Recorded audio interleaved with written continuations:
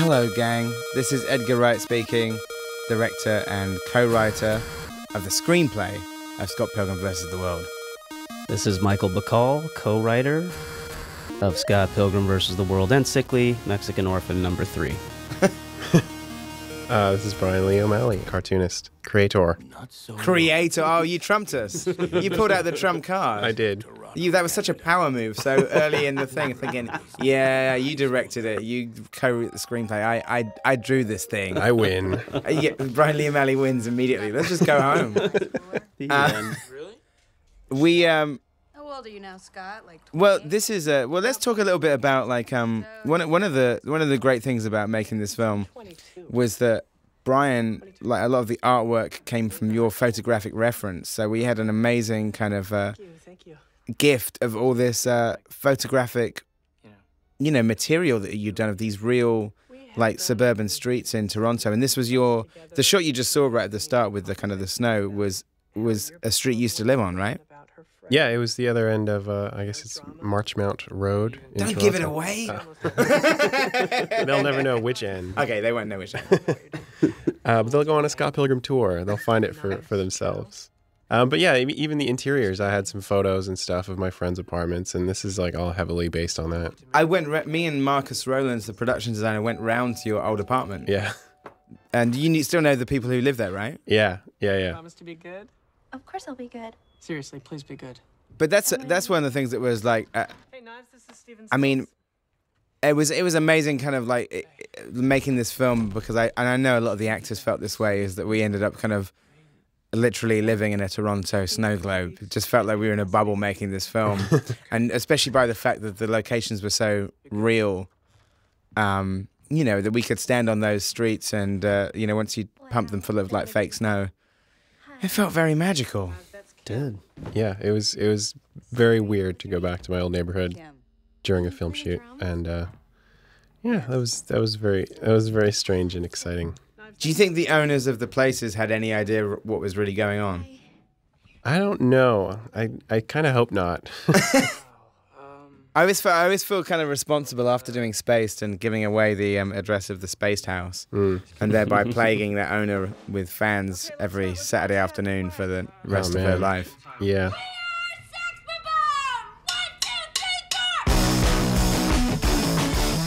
Now there's a lot of there's a lot of details of we got Bryan we got you to do a lot of the um, we bothered you a lot during the production. Would that be fair? That I think that would be fair. Would it Yeah. also be fair to say we bothered you in pre-production and You've been bothering me for years and years now.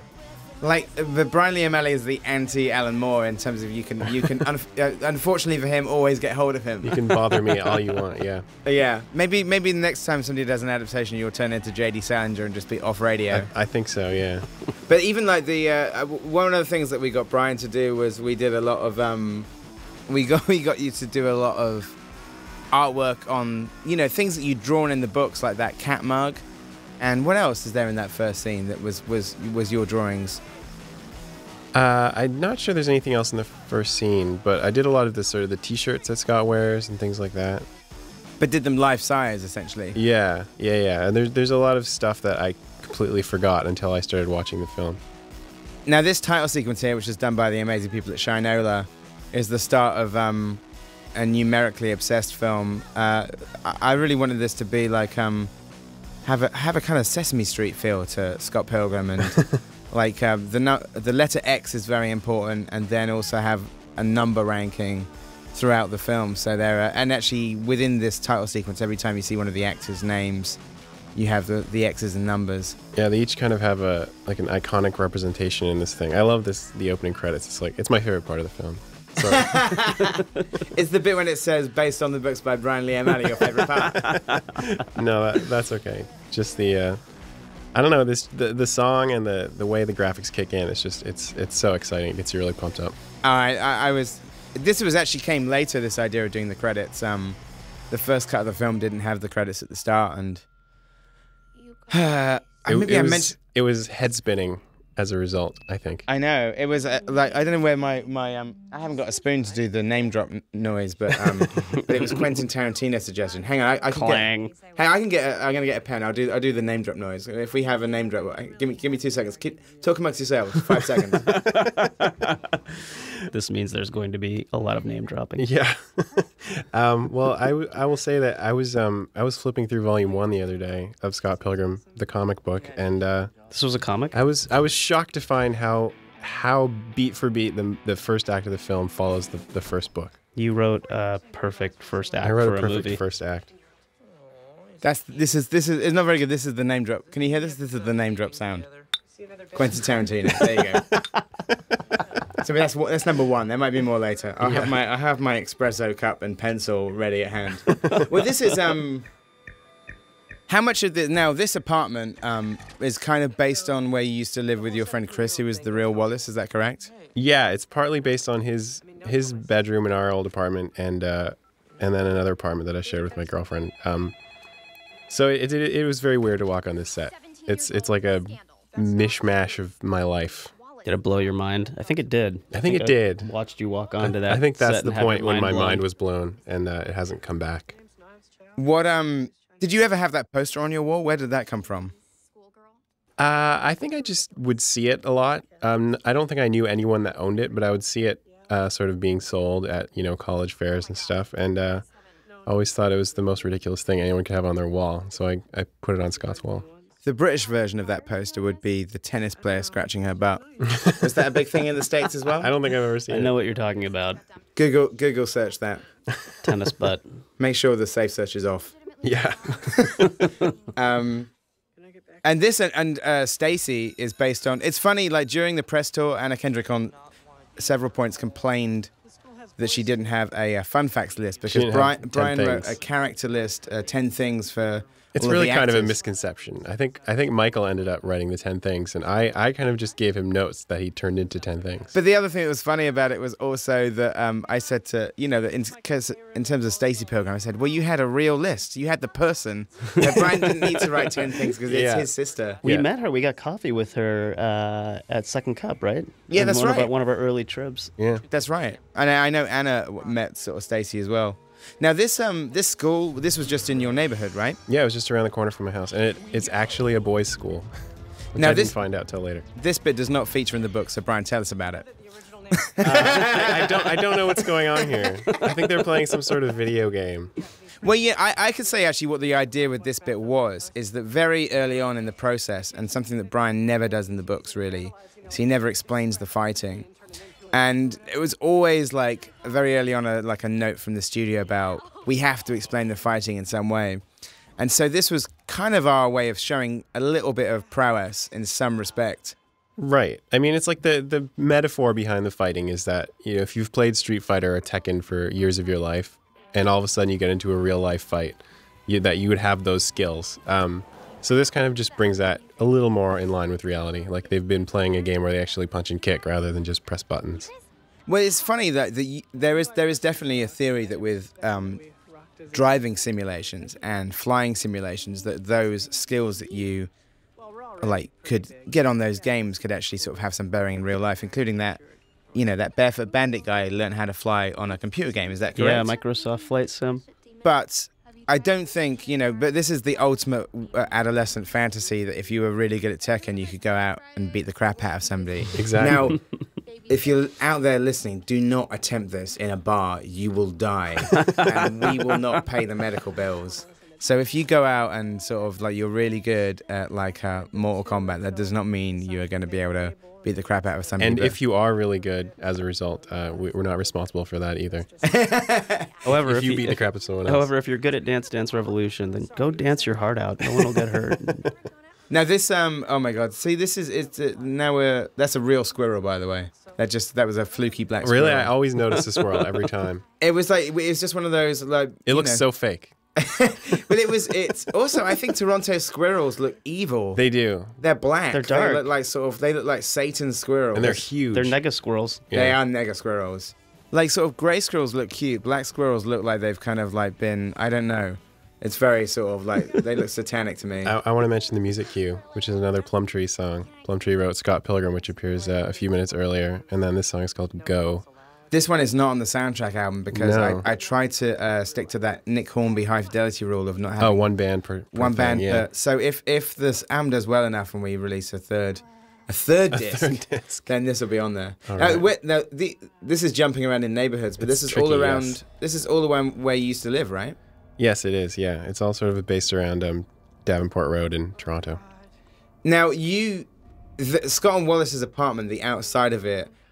Uh, you had a photo of it, but you couldn't remember exactly where it was, could you? yeah, I hadn't gone back to look for it, and this is before um, Google Maps Street View sort of came into uh, effect. Like I think it was a year or two ago in Toronto, and uh, I didn't know where it was. But you you guys found it. You also found Ramona's apartment, which I had never known where it was. I think I was driving by it in a bus. I took a picture out, out the window, and you guys found it. in Cabbagetown. Yeah. Yeah. Now you used to share a bed with your roommate. Uh, not my not my homosexual roommate. Uh, an, an, an- another roommate the year before. Yeah, A heterosexual a heterosexual. You have shared a bed with a man. There's nothing I wrong have. with it. I have. Simon and Nick used to do it. Bert and Ernie do it in Sesame Street. There's nothing wrong with it. We, we would have a body pillow between us. We were, we were that uns- unsure of our uh, masculinity. A but Japanese body pillow. the girl on it. Yeah. You Uh, put a girl in between the two of between you. us. If two men are sleeping in the same bed at uh, same bed, you have to put a lady in between. Pillow girl. And this is the real library in my real neighborhood. And would you use this library as a library? I would. Uh, it kind of became overrun with homeless people after a while, though. Apparently, that happens in a lot of libraries. They're free. Homeless people love to read. known fact. Do they? Now, is Scott Pilgrim now in this library? I hope so. I think it is. You I know. believe it is. I think when we went back for um, when I think when we went back for Is your girlfriend distracting you? The location thing, uh, like sort of shooting, I'm pretty sure it was there. I like the Virgin Mary in the background. in the Yeah. scene.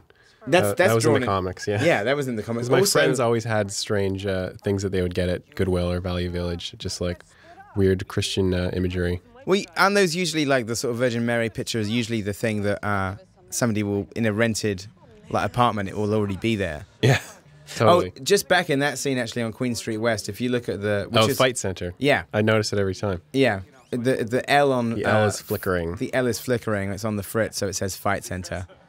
Um, which is from the comics. yeah. Oh, fight, that's the thing. Is Fight Center is in the comics. we kind of had in to volume four. we had to make it the L flicker. Yeah. So I was kind of halfway there. This is a frat house in um. uh, I'm not sure where this was in Toronto. I think it was near. Well, it's Yo- in the Yonge Street. university district, I Yeah. believe. Um, but I think a certain Michael Bacall was in that last shot, and we missed it. I just said it is near Yonge Street, which also happens to be the longest street. Longest street in in the world. Canada, in if the you world. want, if you want to find this, if you want to find this frat house, just follow the smell. And For God's sakes, whatever you do, don't go just looking on Yonge Street. You'll be like Steve Buscemi in Fargo and die. like that woman who went to find the money in Fargo. Did you ever hear that story? Oh, I think I did. Yeah, It might be a bit too morbid for this commentary, but this, uh, don't don't go looking. I don't want anybody to freeze to death. yeah. Um, Cale- Calexico, also in the comic. we tried now. So ridiculous. like well what what would you say about our level of kind of like so we, we got super kind of like OCD about getting Oh, the yeah. details right. I would say super OCD. Yes. Yeah. but you know, we uh, we wanted to we wanted to represent. Oh yeah, it's it's beautiful. There's I also like those gray balloons I like know. the light switch. and the light switch in the sky. I just it looks the black balloons look so depressing as well. Also if you listen you can hear one of them pop when like sort of when Scott kind of like uh This is actually one of my favorite bits in the whole film. Michael's his- Michael's delivery of the Pac-Man This was speech the second time. really hard not to laugh. Oh my god! day. Like yeah, I, I crack up every time I see that scene. Now the reason we wrote this Pac-Man speech is because the joke in the books is something that could not be translated to film. Right, it was very drawing based. Yeah, there's no way of making the Mr. Silly's shoes joke work in live action, so we had to come up with something else. And I always liked that Pac-Man story. I always thought that was really interesting. I can't wait till I have the Blu-ray and I can pause through all these scenes because there some of them are like three frames. There's um, well, you can watch like Johnny Simmons is always looking lost. Yeah, Uh, Johnny Simmons is always looking for Scott, even though Scott is right in front of him. Yeah, yeah, yeah. What else? Sandra and Monique. Were they based on anybody real? they were named after uh, some girls that I knew in grade school. So uh, if the real Sandra and Monique are are watching this film, uh, I apologize hugely. You know her? Tell the whole bit there with the um the party goers was based on this early idea that me and Michael Bacall had in the draft, where one of the first things we did because basically Bryan was still writing the books as we were trying to write the script. We we basically stalled for about five years until like Bryan had, had written as many books as we could we could uh, use in the film.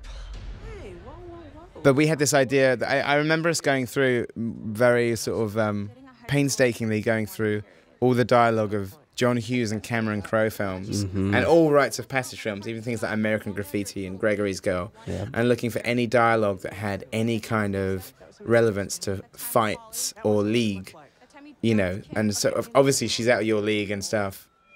Um, 2010. Say anything. That Yeah. good- that was a good one. Yeah. So we tried to kind of mine like all of the um, the classic kind of teen sort of rites of passage films for rhyming dialogue, you know, that would fight in, you know, sort of tie in with the ideas of tournaments and this is this actually happened, right? This is uh yeah. It, it, I did I did share an apartment with a with a, a gay man, and uh, he would come in after the bars drunk and would get like kind of fall on my bed. We didn't share a room, but he would kind of lie on my bed and tell me about how his night went, uh, and it was it was extremely annoying, but uh, also you know kind of charming. So uh, I put it in here for posterity. He never threw the house keys at your head though, did he? No, that was a, an That's a invention of the uh, Kieran Culkin. That was a Kieran Culkin special, and you notice that Kieran Culkin does it twice in two different shots, and he's a. Kieran, Kieran is one of those people who has just a sort of like a whole arsenal of, of little uh, amazing bar tricks and things. Do you know what I mean? Like something that he could do is like, yeah, you want me to throw the keys at Michael's head? I got it, and he'd like do it three times in a row. Yeah. This this is I shouldn't I shouldn't mention, but that's the one scene that uh Stacey is working and apparently it's the middle of the night. Oh, I kind of figured. Well, what time We does oh, researched. we there is did- a 24 you know- hour. there was a 24 hour. There's one 24-hour second Nice. because you know what we did. We Saved your asses. Well, we screwed up because we shot a scene on the bus Mm-hmm. with Stacey on the bus, and then Anna Kendrick quite rightly pointed out. Oh, you pointed it out as well, but you said it first, and then she said it, singing. Um, the line about like um, haven't you got a job to do doesn't work if I'm on the bus, and I was Yeah. like, yeah. so maybe we'll put that alternate scene on the DVD, which makes no sense. Although it's kind of it's uh, good for Stacey um, having the ju- same juice box as she has in the book. Oh yeah. Now, what about the idea, like, um, because a lot of people have commented on the fact that he has like an old PC desktop and he's still on AOL. Well, one of the things I love is that tuned down sound right there. Yeah, you can it's hear the like, disc spinning down. Yeah. That's so good. I know it's like the sort of it's like the PC version of like the Millennium Falcon kind of winding down. Gee, gee, gee, gee, gee. I love that. Ben Burtt special. Uh, and here Knives is already beginning her transformation into a Completely nonsensical girl. line. I love that. Now, what um, tell us a little bit about without going into any detail that will get you in trouble, but tell us about the inspiration for Knives. Uh, where does the the name come from, Knives Chow? It's it's so hard to explain. Explain. Um, this is your okay, this is your time. This is There here forever. Uh, this commentary track. This is your time. M- my We're fam- ready at to my hear it. family's church when I was in my teens, there was uh, a woman, uh, a church director who was named, I think her name was Neve or n- something like that, something along those lines. But I could never figure out how to pronounce it. I Is still it can't. Knives Campbell? Yeah, maybe. so yeah, it was a name like that, and I kept uh, I kept getting it wrong, and eventually it was just stuck in my head as Knives, and I just kept it in my head for years, and then eventually used it for this character. Bryan, you just spun commentary gold. that wasn't so hard to explain. That was amazing. All right. There you Um, go. You win. Well, and then the other the other half of it was there was a friend of mine um, broke up with his girlfriend, and she pulled a knife on him. oh, re- oh, wow. Slightly darker. So that was the darker side of the tale. Yeah, Oh my god, I love it. yeah. And even better, it's the TIBB. So I Now- tu- I turned that into into fun. Suddenly, the commentary took a darker turn. it's all gone very. This is supposed to be a, a, a light and bubbly PG 13. Yeah. And Bryan Lee O'Malley's just taken us into kind of like a whole world of hurt. um, Ellen Wong made her own. She made her t-shirts. own shirts. Yeah, that shows a level of dedication. Oh my god, she was so dedicated. We tried to put in lots of details from the books, so the Lane Brand amps in the background there, Mm-hmm. and also even like uh, uh, the the the t-shirts alone, the clearance on the t-shirts, which was uh, uh, down to um, uh, Woody Brown and Karen Beaver, Mm-hmm. our, our amazing clearance department. just took forever. But you know, I, know. I want a match pick shirt. I want a Sharpie shirt. Sharpie. You, you get- you got all of them. I didn't get any. you could have, you should have said You something. got a quilt. I got, I stole Nice. all of Scott Pilgrim's shirts. Now I have to lose about thirty pounds to get into them. Michael, Michael Cera's frame is like, uh, you know, I'm, I'm, I'm about twice as heavy as he is. P reference This number is, one. This is another uh, uh, one of my favorite Michael gags. The the Towels. hand drawing. Yeah. What the really, really perfunctory? Amazing. That always gets a laugh as well. Yeah, it's so good. And then this was a, a physical effect. You guys moved the set. That's right. The other thing worth listening out for that always makes me laugh is is um is is Michael doing like a Scooby Doo. Huh? like when he comes out, he does a proper Scooby Doo noise. I never noticed that. Because the music kicks in. and Yeah. it's so. This is the Zelda music that's Yeah. been talked about so much. Yeah. Mm. This is a we we we tried to kind of tra- like blend that transition there with Scott waking up was based on I think in in your artwork you had like him outside of the frame. It frame was like slightly. overlaid. Yeah. Yeah. I always really love that and trying to figure out a way to do that in live action. hmm Uh, It's been really nice. A lot of people have mentioned the transitions, like throughout, and and uh, you know, and and also what's nice is a lot of people have mentioned, like even just beyond kind of replicating the the panels, but like how it feels like reading a comic, which I think is a nice thing. I, I kind of feel like it feels like. It maybe doesn't feel like reading a comic if you're a slow reader. I think it's maybe like reading. Yeah, the way you flick your eyes flick through from scene to scene, and you're you you know you're in the next scene before you even know it. Really, Are you a speed reader? I I am. Yeah. Well, I mean, with a lot of this these types of comic, the Japanese comics, you're supposed to read them pretty fast. Yeah. I mean, and they're 35 volumes. You know, like seven thousand pages of comics. So you kind of have to read them fast in order to get through them. Well, I feel like that's what when people talk about the pace of this film, uh, one of the things, and this isn't something that really occurred to me until people kept asking about the pace. It made me realize how I used to read Marvel comics. Is I used to read them in like 20 minutes flat, if that, and then I would go back and look at the artwork. Yeah. So I would say probably the perfect way to watch this film is watch it at normal speed, and then anytime it comes to an action scene, slow it down on the frame advance, and then. And then, then you can look through it like you would read a Frank Miller book. Is read it, read it fast once, Second time, slow it down. Third watch, just look for numbers and X's. Fourth watch, um, just watch Johnny Simmons. Uh, fifth watch, Watch it backwards. watch it backwards. Yeah. Um, is there an album that like you'd like to? You think it should be played alongside Scott Pilgrim, Dark Side I'm of the Moon sure. style? Yeah, maybe uh, maybe something by the Smashing Pumpkins. Oh, there you go. Well, uh, obviously, like um, you know, the Infinite Sadness, Mellon Collie, and the Infinite Sadness. Yeah, Sadness. that's a pretty long. I guess that's probably about it's about two hours. I think it'll There you probably go. work. Yeah. there you go. All right. Let's start that rumor now. Is that, that it, it syncs up with the Smashing Pumpkins? People complained to me uh, at some of the Q and A's that there wasn't a Smashing Pumpkins song on the soundtrack, and I said, "Well, he's they have a T-shirt. They have two T-shirts. It's pretty well represented." Yeah, yeah, yeah. I, I love this stuff. Just to get back to uh, to Edgar Wright again. Uh, it was a it's a real park. This is a real park that I would go to with my girlfriend around the corner from my old house, and uh, it it's transformed into something magical here. Yeah, it's really sweet. I mean, this is what's crazy is we're on location here. You can't see Yeah. you can't see anything. In the Why were you on location? Uh, well, it, there's it- part of it. The bit on the swings back there was on a set. We actually went back and reshot the swings. Mm-hmm. Um, but this is real. This is on location, which is crazy. At like four in the morning, It was Yeah. cold. it was really cold. It really fe- it felt quite. It felt really magical, like doing this stuff. but it has that feeling to it. It feels like a real place. Yeah. No, that was really important. You know, because I think some people assumed that the it was going to be like a, a Sin City, you know, mm-hmm. style adaptation, and you know, I was really intent of because of the content of it, and ma- maybe after something like Speed Racer, which was all completely green screen, I was.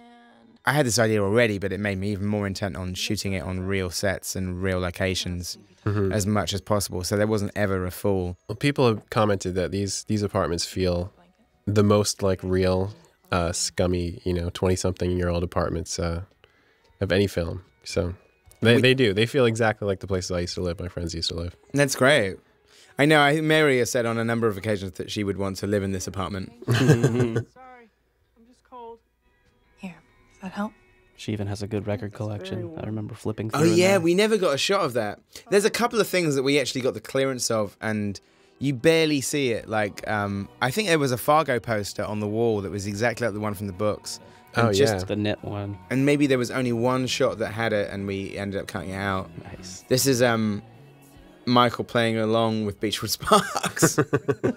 this is a song that um well here's a good thing to talk about. The the, the um a lot of the songs on the soundtrack are from playlists that um Bryan did for each book because you used to make a playlist to and you didn't publish it in the end of volume one. You started that with volume two, is that right? And maybe not even volume two. I think it, it, it was a while before I started talking about it, really. But yeah, I would just kind of make a mixtape for myself and uh, just get the mood going. And this is this was one of the songs from the mixtape. yeah.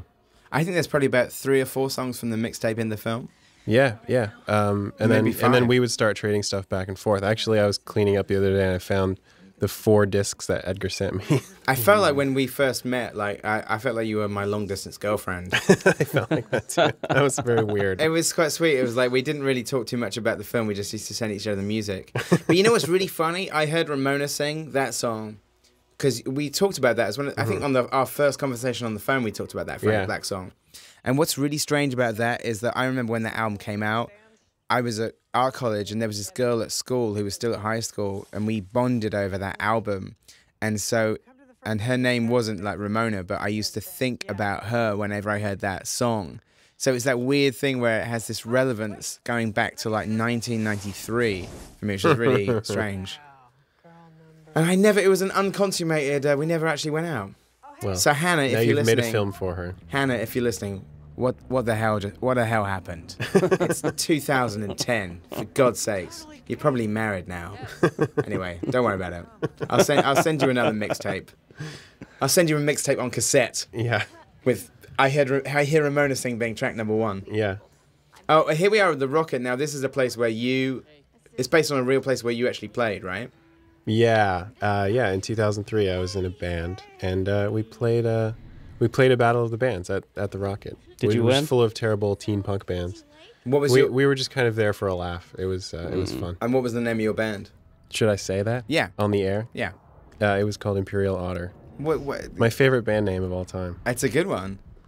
Where d um now now this this venue itself is a little bigger than the actual one. But oh, I think I talked about this. Maybe I mentioned this already. But Eric Knudsen, who plays Crash, actually played in the Real Rocket He played well. in one of those battle of the bands too. I bet. yeah, Yeah. Well, the the real club was about half the width, I think. Yeah. Um, but this this is a lot easier to shoot in. yeah. And then of course it, it shut down. I think in 2004 and turned into something else. What was really sweet there was a we had a screening in New York where Jon Spencer and uh, Christina Martinez and um, Yo La Tengo turned up, and they all commented on the venues and how realistic they were, and they all believed that the Lee's Palace set was real. Yeah. They all thought we'd shot in the real Lee's Palace until I pointed out that a it was the old bar and b we had to smash the walls in. Yeah. But that was that was very pleasing to me that the um, these guys who've probably seen every music venue in North America Yeah. thought that they looked authentic. That was the seal of approval. Yeah. Something like this. Oh, Here we go. Now that Kinks T-shirt was in the books, right? Yeah, that was the shirt that my uh, my friend Luke used to wear, um, who uh, Crash was named after. From the balcony. Was his name Luke Wilson? It was Luke Wilson, yes, just like the, no- like the famous actor, but not the famous actor. Um, yeah, he had that exact shirt, and we we went back and forth, me and the clearance department, finding that exact shirt, which was It was like a tour T-shirt, insane. Yeah, it was like an '80s Kinks shirt. The guy Joel who's playing. Oh no, the guy Maurie who's playing Joel. He watched it for the first time the other day, and I said, "Did you like the D's coming out of your bass?" And he goes, "What D's?" And I said, "I said, were you just watching your own face? You were so kind of like wrapped up in the fact that you were on screen, that you completely missed the animation." Um, So, how do you know Scott? this He's a friend. this thing, uh, this bit like always makes me laugh every time. Is when when um Nice. Michael starts spazzing out here, and Nigel Godrich's music cue, which sounds like something from Doctor Who. This This is bit. a nightmare. Yeah, this makes me laugh this every another one of time. my favorites. Is a nightmare. I remember somebody, uh, like not mentioning it, I remember somebody from the studio or one of the producers questioning the interior monologue stuff, which I know that the three of us sitting here find it enormously funny It's and a- childish. very entertaining. Absolutely. but that's very sort of true to the in- idea of internal monologue is very true to a lot of, um, you know, like Asian cartoons because That's a lot my friend Matt. Matt Watts, Matt yeah. Watts. He's probably one of the few people over 30 in this film. He is, yeah. He should be exterminated Logan's Run style. really. There'll be a later edition of like the Logan's Run edition where Matt Watts, Thomas Jane, and Clifton Collins Jr. have all been erased from the film. All right, maybe during this musical interlude, we can talk about how uh, how the music evolved. Uh, I remember Michael has been talking about uh, in early drafts, you were trying to, to hide the music. That's right. We had this joke because um because there's always this feeling of like most fictional bands and films suck. We had this joke in the first draft of the um first draft of the movie where say like the opening scene like Sex Bomb would play, you'd hear the intro and then it would cut to Knife saying, "Oh my god, that was the best song ever. The lyrics were amazing." And you and in this scene as well, like it was supposed to be that they just kick in and Patel interrupts them immediately. And I think it was once we started getting the Beck songs.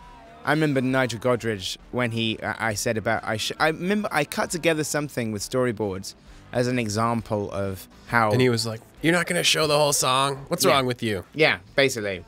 And you know he was right. I, I kind of feel like um, as as funny as that joke would have been, I I kind of love the bits where it just starts to turn into a musical. Yeah.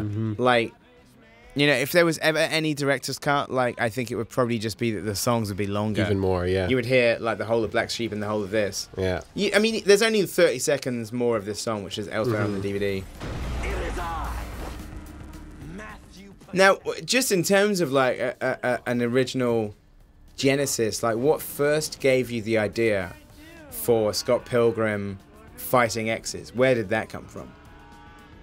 I'm asking the tough questions So that's now. that is the toughest. I threw question. in. This is my Charlie Rose moment. Yeah. Um, well, I mean, like I said earlier, it's the whole the the Street Fighter thing.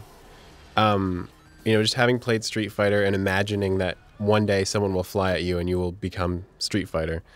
Um, the other thing is, I mean, this character's name is Matthew Patel. Uh, at one point, I found out that my girlfriend, uh, who's now my wife, uh, w- had dated three guys named Matthew, like not at the Oh. same time. Um, and I just thought that was that was funny. Like, what if there was a league of Matthews? And that kind of spun out from there. So the first guy's named Matthew in, in homage to her. Are you saying that this film could have been called Scott Pilgrim versus the Matthews? I hope not. Three Matthews.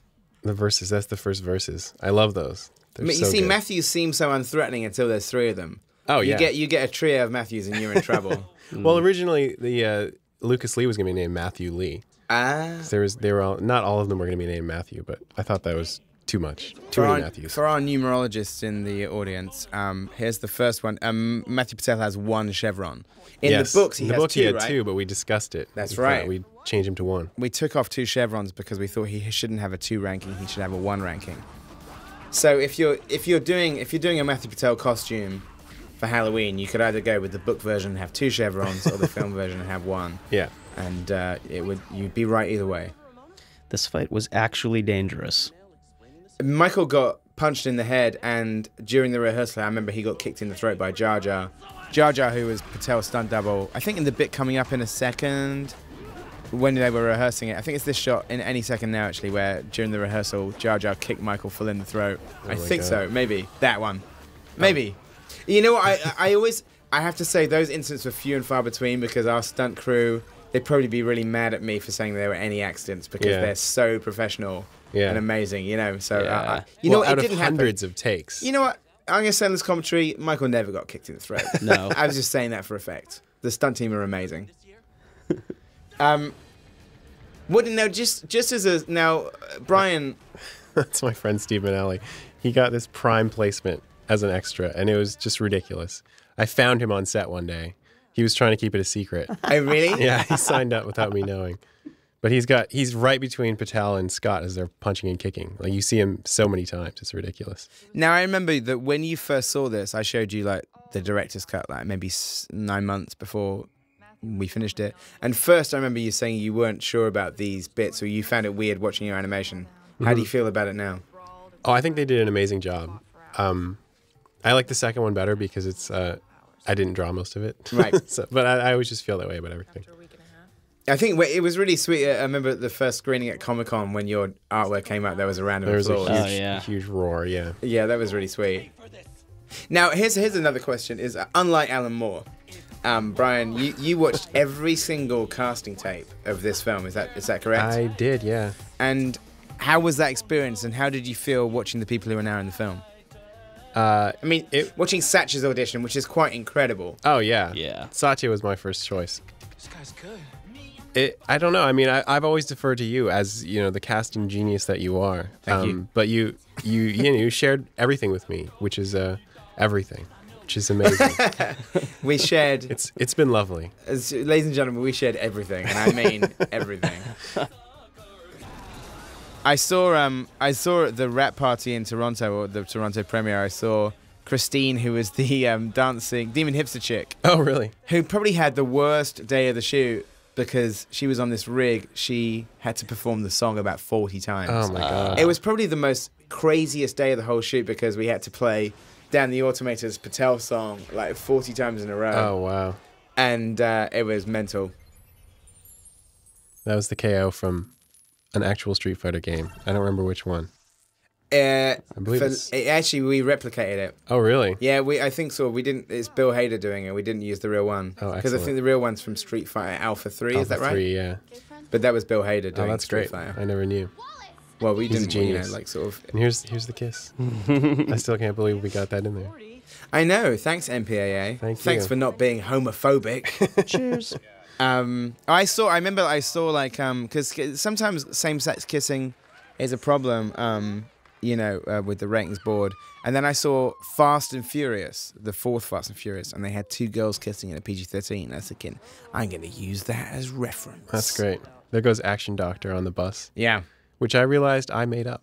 It's in the background of Volume Two. Yeah, that's right. I had It's no in- idea. It's in Queen Video or Suspect Yeah, Video. yeah, yeah. Or It's- Queen Video, Suspect I, Video. it's suspect video, but it's called no account video in the store. That's the- right. Oh, because But it's based on. It's based Suspect. based upon suspect video, who I respect. Now, yeah, well, you'd forgotten that you came up with Action Doctor. Yeah, it's just buried in the background along with all these other absurd movies. I know. We, we we read them all, and we sort of like we would- we would me and Michael Bacall would pour through the book with a magnifying glass, looking for all these little nuggets. We made lists. Um, Bacon. the Sein the Seinfeld like bass riff like isn't. I guess ba- basically, if you want to get a huge laugh from an audience, I guess put that Seinfeld music in every single film. It's a winner. or in every scene. in every scene, it's a winner. It's like sort of just has a sort of like that. Just almost always gets a huge response. Um, I watched. I love him changing his t-shirt here. Oh yeah, instantly. Yeah, that was in camera, wasn't it? yeah, it was in camera. Kieran Culkin stayed still, and we you can kind of see. Well, you can't see the cut because it's because you know it's pretty slick. but basically, Kieran Culkin standing stood And still here's, whilst Michael here's Kieran with no pants on, which is never called attention to, but it's uh, he takes his pants off. He did go for the boxers rather than the briefs. Mm-hmm. I think he he he What does Wallace wear in the books? briefs. I think he wears Briefs, boxer right? briefs. Boxer briefs, yeah. Which volume is he just in boxer briefs the Four? entire? I think it's four. 'cause it's, the Yeah. su- it's the summer one. I didn't make up the gay rule book. You got a problem with it? Stop. Now you never had an experience where, um, like, uh, you know, Stacey had never had an experience where, like, sort of Wallace turned her boyfriend in real life. No, um, but the the whole rocket scene, the kissing scene, was based on a scene when um, where, when Chris and Stacey came to my show at the Rocket, and uh, Stacey brought a boy, and Important to you right now. Get out. Chris definitely had eyes on the boy. Ah, there you go. So I I uh, I turned that into fun too. Surprising no Now some people have uh, assumed that like Spike and Coke Zero are like sort of product placement. And, and the fact of the matter is, is that we in the original script it was TBS Superstation, but then we realized But realized then it doesn't exist in Canada. That's anymore. right. TBS Superstation doesn't exist in Canada anymore. So Spike was the only channel that we could think of that might have a Lucas Lee marathon. They wanted it to be realistic. That's right. And then Coke Zero is because as a part of the The numbering thing, system. The numbering system. Scott is zero. Scott is a zero. Gideon is seven. And we had this kind of, you know, we want to have this uh, ranking chart. This is Bloor and Bathurst. This was, Yeah. I would describe this as like this crossroads as the this intersection as being the heart of Scott Pilgrim country. It is, yeah. Yeah. Is that somewhere you'd hang around a lot? Yeah, I mean, I used to work at the the Beguiling, the comic store right there, and uh, you know, Honest Ed's is right there, this crazy landmark. Uh, and yeah, people, Toronto crew commented on that because the center of Toronto is not there. It's it's like six or eight blocks east of there, but but this is the center of uh, Scott Pilgrim country for sure. too old for you. And had you frequented that Pizza Pizza on Bloor and Bathurst a lot? Yes, yes, I had at all hours of the day and night. Had you ever been in there hammered? Uh, Ordering I, pizza? I believe so. Yes. I think most people in Toronto. Yeah, had you have, ever been right? in there not hammered? uh, maybe one time at 11 a.m. Um, but and Sonic Boom as well. You know, I spent a lot of time flipping through CDs, which the- is something you don't see so much anymore. You don't the hear uh, that sound. That sound of clack clack clack clack. It's clack. almost extinct. yeah, almost extinct. Soon. There's Amoeba in LA. There's Sonic Boom. I don't know. I remember when you took us to this uh, to Sonic Boom for the first time. Had my mind blown. It's a particular sound of an era as well because like flipping through vinyl doesn't make a noise. But Yeah. flipping through dual case CDs, which are horrible, let's face it. Yeah. Cardboard ones are nice, but dual cases are horrible. It produces a like a, a quite a pleasing clack. It's It is probably very one of the satisfying. it's probably one of the few things that are good about CD cases. Very metronomic. Uh, on that bus there, there's the uh, another Lucas Lee movie, which I always find funny. It's like he's got about eight movies in theaters at the moment. Oh yeah, absolutely. There's actually like a poster for the um, the new film by it won't be new by the time the DVD comes out, but uh, Dwayne Johnson's film Faster, which looks like a Lucas Lee poster because it, it's called the film is called Faster. It stars The Rock, and it just looks like a Lucas Lee poster because the tagline is "Slow justice is no justice," which is a tagline You could have made that one up. I know that sounds like it's from the the one that was on the bus back there is the game is over too, and the tagline is one good cop is done fooling around again. really torturously long yeah, tagline. I think we collaborated on that one. Yeah, But Action Doctor was all you, right? That yeah. was uh, Schwartzman. That was Schwartzman for the first part of the line, and me for the second. Oh, what, in your good- in your apartment. Oh yeah, yeah, that's right. Well, the good news is you're gonna live. The, bad, bad news is he's gonna kill you.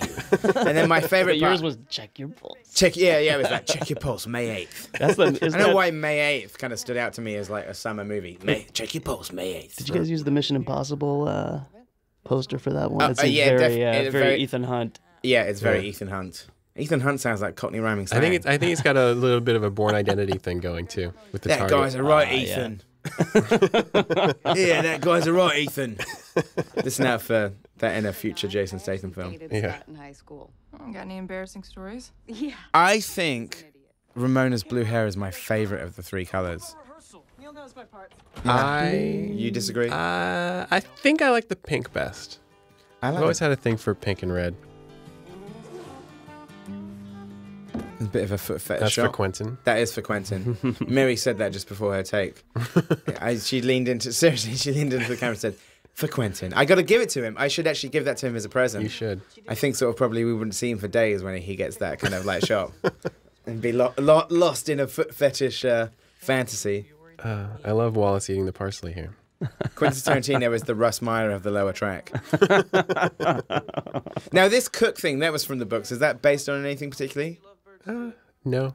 It's just like sort of just simple. Yeah. Just always like to write simple things or absurd things. Now, what about the, what about Scott's parka? Did you ever used to wear a parka? Yeah, I wore a parka for years and years. Uh, I probably still have it.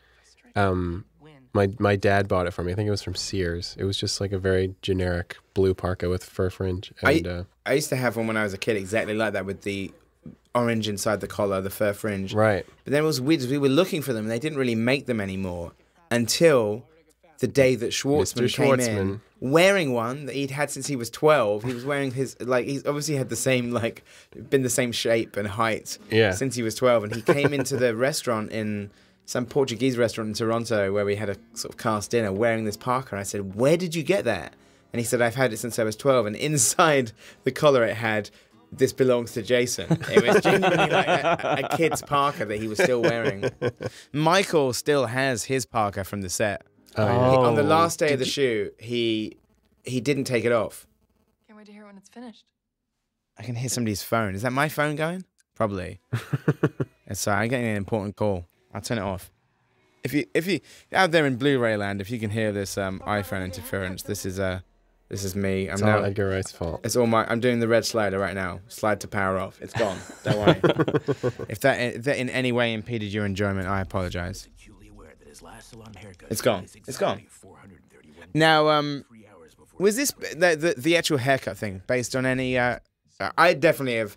Had I just those, hated getting haircuts. I never actually had a breakup because of a haircut, but I definitely had a moment where I'd broken up with somebody when I had a spot, and I thought the spot was the whole reason. So I can definitely vibe with Scott Pilgrim. I remember sort of going out with a girl and it going really badly and having like a spot and swearing blind that the spot was the sole reason that she split up with me. So I can really empathize with Scott Pilgrim about the idea that having a haircut is the reason why Emily Yeah. left him. Yeah. This was when I was 12. And to be honest, Scott Pilgrim acts like a 12 year old quite a lot of the time. He Would that be fair? That would be very fair. Here we are at the real uh, Casa Loma stairs. Yeah. Spadina. Um, and explain um, explain how the whole thing of the Lucas Lee Casa Loma set thing came up. This is another convoluted story. Uh, this is what commentaries are for. oh yeah. Um, well, I used to live right near Casa Loma, and um, and I knew they had shot X Men there. I didn't know much else about it. I think I had been there on a tour as a child. Um, but one day we walked by, and they were shooting a film that was a, a Hilary Duff movie called The Perfect Man, and I just sort of filed it away. And uh, I think it was, it must have been 2004, because I was already starting to write the second Scott Pilgrim. Uh, and then you know the movie started rolling soon after, not rolling, but you know, uh, I talked to you, I talked to the producers. The producers turned out to be Marc Platt and Adam Siegel and Jared LeBoff, who had made The Perfect Man. There you go. That sounds like an that sounds like a bit of like um scientific fact. Mark Platt, Adam Siegel, and Jared LeBoff had made the perfect man. it sounds like a bit of sci- like a scientific Weird experiment. The strangest thing now is, you know, we, we went back, we made another movie, uh, a movie about making a movie in this same location. And then the other night, Jared and I were playing the Scott Pilgrim video game, which has a level uh, of a movie set at Casa Loma with you, Edgar, as Yeah. the director. And we felt very strange playing that game. The, the, uh, as Michael just pointed out, back there, the director is played by Don McKellar, Don McKellar. Canadian legend, like Canadian royalty. Don McKellar, surely. Yeah, absolutely. Yeah, yeah. Director of Last Night, one of my favorite films. Me too. I loved it last night. In fact, I I met Don McKellar because I'd mentioned last night in an interview during my Shaun of the Dead press in Toronto. They'd asked about other post-apocalyptic films, or and I mentioned last night as a, one of my favorite films, and Don McKellar got in touch, which is very sweet. Um, now your friend uh, makes that T-shirt, right? The Pixel Skull. Oh, that's right. Yeah, R. Stevens, Clango.org. There you go. Get him Yes, some. give Get him him some plug. money. Uh, I remember being there for that stunt where where uh, Scott falls through the uh, like three layers of scaffolding. I think it was It the was- first big stunt. It was the Yeah. first big stunt. It was very painful to watch. Yeah. eight times. Now I have to point out some twos. There There is a two on Lucas Lee's car coming up right now. You see it? Beautiful, Two. Two. beautiful car. Two. There's a Tibetan two on his shoulder, his little neck tattoo on the Is other that what side. that is? Yeah, it's Yeah. a Tibetan two, and on his belt, two X's. That's right. There you go. And even the Lucas Lee symbol is made up out of two L's. Although you had that already, right? Or did we make that up? You made that up. Okay, I made that up. I'm going to take it full. You all by in yourself. front of in front of Bryan Lee O'Malley, I'm going to take credit for one idea in this film. but yeah, so there's a bunch of twos in this film. and that's uh that was Ruben, right? The first double. And Yeah, Ma- Ruben Max, Langdon. our trainer. The- yeah, Max on, the, right. The first on the right. First on the right was our fight trainer, who was amazing. Who was actually Max White. You can see him in Kick Ass. Actually, he turns up in Kick Ass on screen, but also Wasn't he in 300? He's in 300. one he the, was. well, he's one of the sets of abs. That's right. He's also um, Hellboy's like fight double as well. So he's running in the Hellboy makeup a lot. That whole scene in Hellboy 2 with the baby is Max White. This is the first fight scene you showed me cut together. A- And how and did you I, feel? I was uh I had to be quiet for a while after this Yeah. scene. I was very- Unreal. I was very excited. Um, I said I said to Brad Allan, who is our amazing stunt coordinator, I said that I wanted this fight to feel very police story esque, Mm-hmm. Jackie Chan esque, and you know one of the things that like is nice about because we always I always had this feeling that Jackie Chan. I love Jackie Chan, and he was definitely the martial artist that I grew up with. And I, what I love about Jackie Chan is he's the only martial artist whose signature move is defensive. Mm-hmm. Like Bruce Lee is like an, an, an aggressor, or Bruce Lee is like sort of his move is like you Yeah. know kind of um, you know uh, saying "Come on, I can take you all," and Yeah. uh, you know flicking his hand towards like the other opponent. This this scene, I've never understood why this scene happens, but it's so funny. Just this like endless run and then the the heartbeat thing. Oh yeah, it makes me laugh. Just seeing Michael Cera really going for it in slow motion. Oh motion. yeah. and everyone laughs at that scene. Every time. That's that's one of my favorite stunts. There you go. CN Tower. CN Tower. There you go. I don't know if anyone caught that in the Toronto premiere.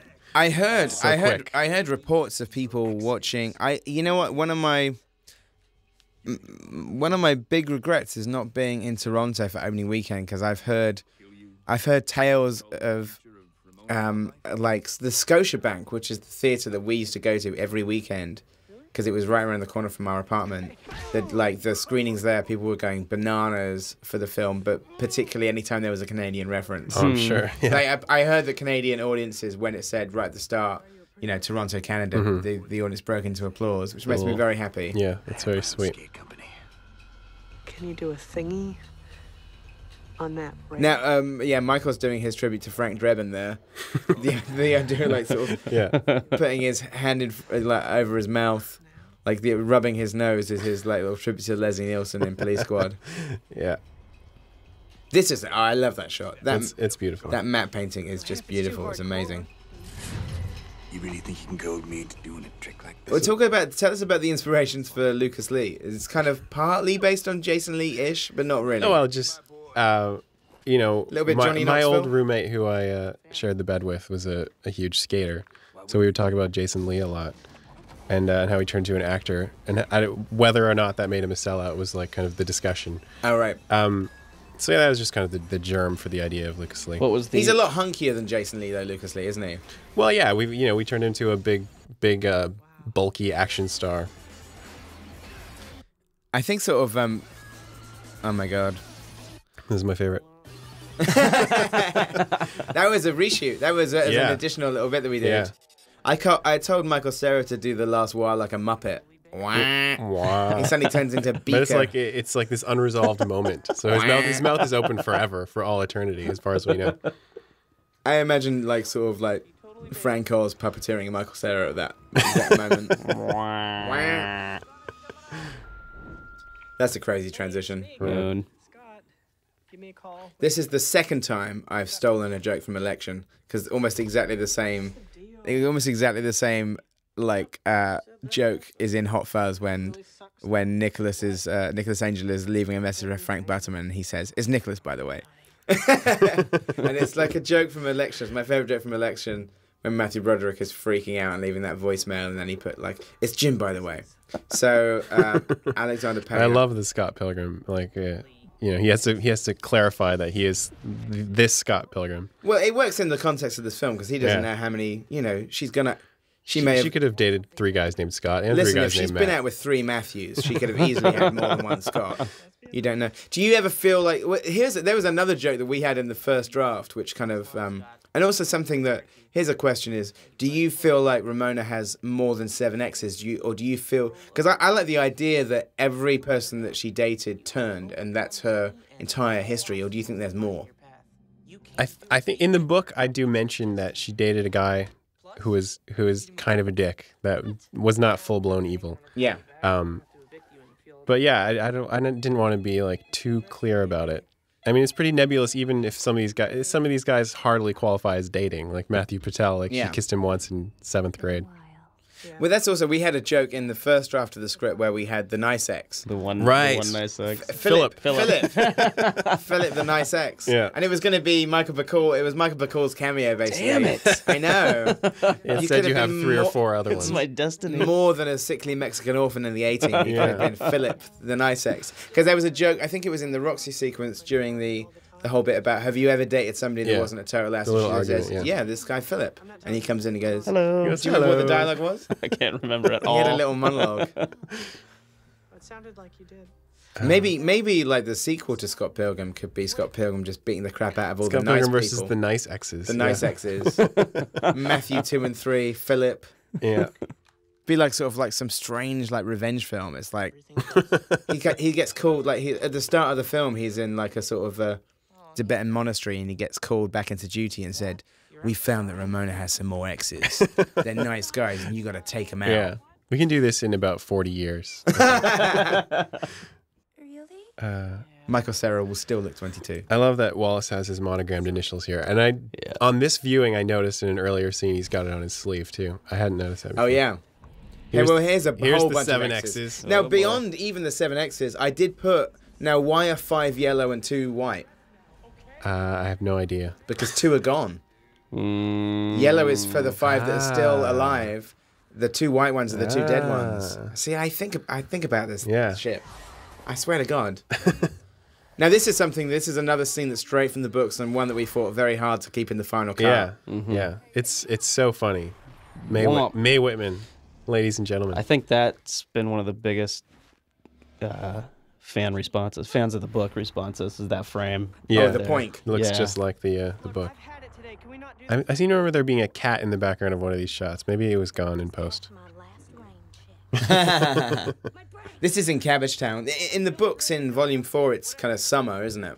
Yeah, I mean, that was one. That was one of the main changes with the adaptation that we we did is that we had to kind of compress the yeah. You time. kind of squash it down to a, a week and a half. yeah, how to lose a guy in ten days.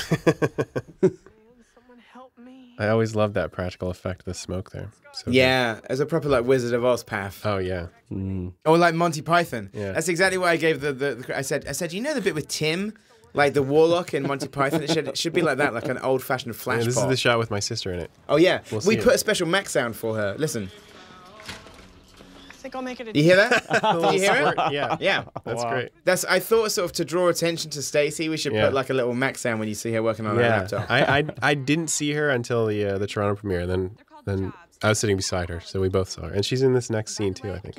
believe you asked Ramona out after I So this I never. This was in the script. Yeah. This whole uh, censorship mouth thing, and I was like, "What? How is he going to do that?" And I, you did it. It's magical.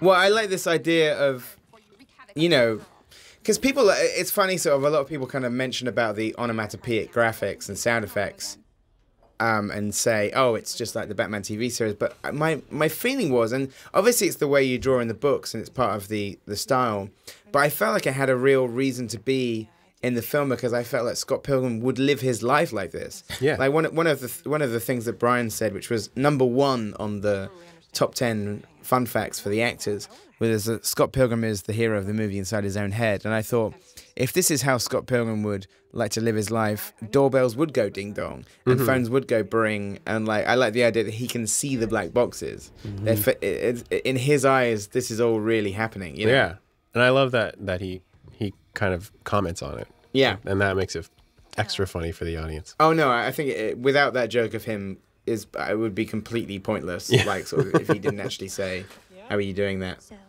That hat gag always goes down well. Yeah, I was very pleased with that. here's yeah here's Brie Brie Larson. You left me for that cocky pretty boy. You haven't even seen him. Now, Envy is kind of like an amalgam. Well, em- Emily Haines was was only like a drawing reference. Is that correct? Yeah, I had just seen sort of you know photos of uh, of Metric. Like I listened to the, their first album, and uh, and you know she's so theatrical in and in her costume and in her uh, kind of her moves on stage. But then also there was another kind of singer that we bizarrely have a, a really we, we have a link to. The um, Amy Bowles from Pony da Look. Oh, that's right. There's a, a, a Toronto band called Pony da Look, who that's avant-garde, kind of almost like performance yeah, art, this sort kind of, of. performance art art rock kind of group. That yeah, they were an inspiration for Clash of Demonhead, and it turns out to be Edgar's school friend. Yeah, I went to school with her. and My brother went out with her, and when me and Bryan were walking around Toronto, she rode past us on a bike and said, "Edgar," and I hadn't seen her in like ten years. And so we got chatting, and we, you know, arranged to kind of catch up and get a drink. And as she rode off on her bicycle, Bryan said, "Is that the singer from Pony da Look?" And I said, "Yes, Amy Bowles. I went to school with her." And he goes, uh, "She was," and he said, "She's one of the girls that inspired Envy," which is just insane. Yeah, Now we should talk about this T-shirt here because this always gets a SARS. massive It laugh. gets a huge laugh, especially in Toronto. Yeah, It, get, it gets a huge laugh everywhere. Does to be it? honest. like, now, uh, it was it was inspired by a comic, a Japanese comic called uh, Tokyo Tribes that was about gangs, and one of the gangs was called Saru, and he had this um, Saru like what what do you call that? Like a like a collegiate vars- Oh, it's got varsity shirt. varsity shirt. Yeah. So I just turned it into SARS. Like that was a Toronto reference. SARS was a disease that ravaged the city in I think 2003. yeah, All our shows are secret shows. That one gets that a big was a laugh. big laugh. That's Alison Pill's biggest laugh in the film, which is great. I love, I love We need groundswell. Mark Webber and Alison Pill and Johnny Simmons. Like, are just like just the the finest ringers you could ever That's another for. great little bit of score there. That's, Oh, that little bit- So so beautiful. Well, you know that Nigel Nigel Godrich's dad used to work for the Radiophonic Workshop, who did all the music for Doctor Who, Mm-hmm. and I feel like this is like finally Nigel has actually channeled like sort of uh, his Finally, dad- his dad approves of him. yeah, or, or it just I felt I said to him, I said, I feel like your dad is coming through your music finally.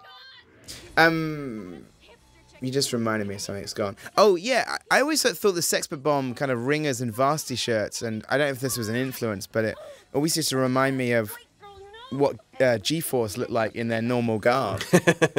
I was a huge Gatchaman fan. Yeah. Like Battle of the Planets, and I always used to love the way that Mark and Jason and Princess looked in their kind of ringer tees and varsity Yeah. shirts. I think it just when you're drawing a character in a T-shirt, just doing the little ringers makes it look a little classier. It's just it's an easy way to make it look more like a shirt and less like just lines on a person. Hmm. So it's just it's just a sort of a neater way of doing because you could do an outline. These ringers are easier to draw Yeah.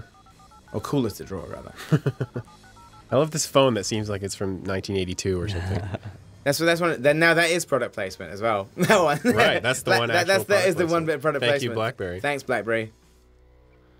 Now tell us about Lee's Palace. Lee's Palace. It's uh it's a real place. I've seen a lot of bands there. I don't I can't name a single one right now. Did you ever play there I did play there once, January 2005. With Imperial Otter or a different band? with the band that Imperial Otter kind of mutated into. Was called Honey Deer. You sound like the Thamesman or something. like you've got so many like your sp- Spinal Tap. You've got so many incarnations. That's just how the It's bands true. the, The world of bands goes. Oh, I, I have a fun fact. Uh, the production design was so good at Lee's Palace that uh, one of the background players actually peed in the non-functioning That's right. toilet. All right, look, there you are. There's Bryan on the right, and Hope. Miss me. You just missed me. Um, yeah, so Lee's Palace is a real place, but this is obviously is a, a set that very much looks like the real place. Now, Johnny there, young Neil, is wearing his heart on his sleeve. Would that be correct? Mm-hmm. Yeah. And what's the idea with the four boxes? Uh, just the idea that it's a blank comic, I, I think. Oh, like It's he's a blank It's like a little story that is his. Nothing happens in this story. Yeah, don't the- know. young Neil is a series of He's, empty he's an unwritten story. Now this um Brandon is wearing the Punisher T-shirt, Mm-hmm.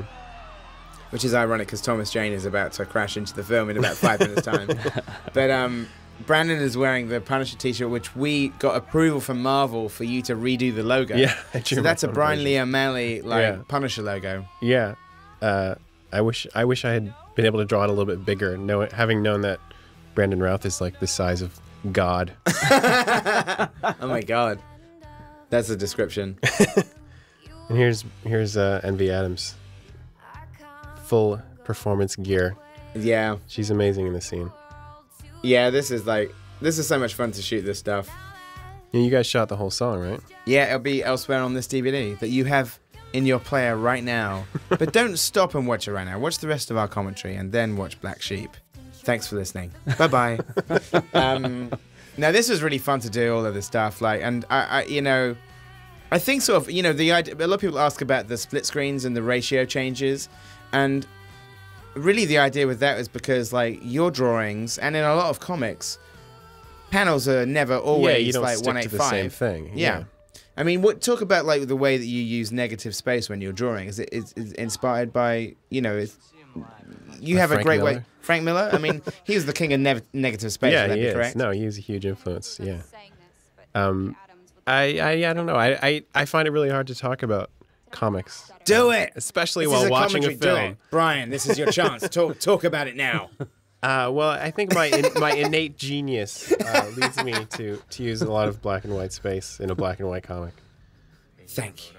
okay, I'm kidding. Now this um now the Lee's Palace dressing room is not as big as this. Like I'm not um, even I, I'm not even convinced they have a dressing room. They kind of do. I I saw the More one like a on closet. Yeah, it's it's.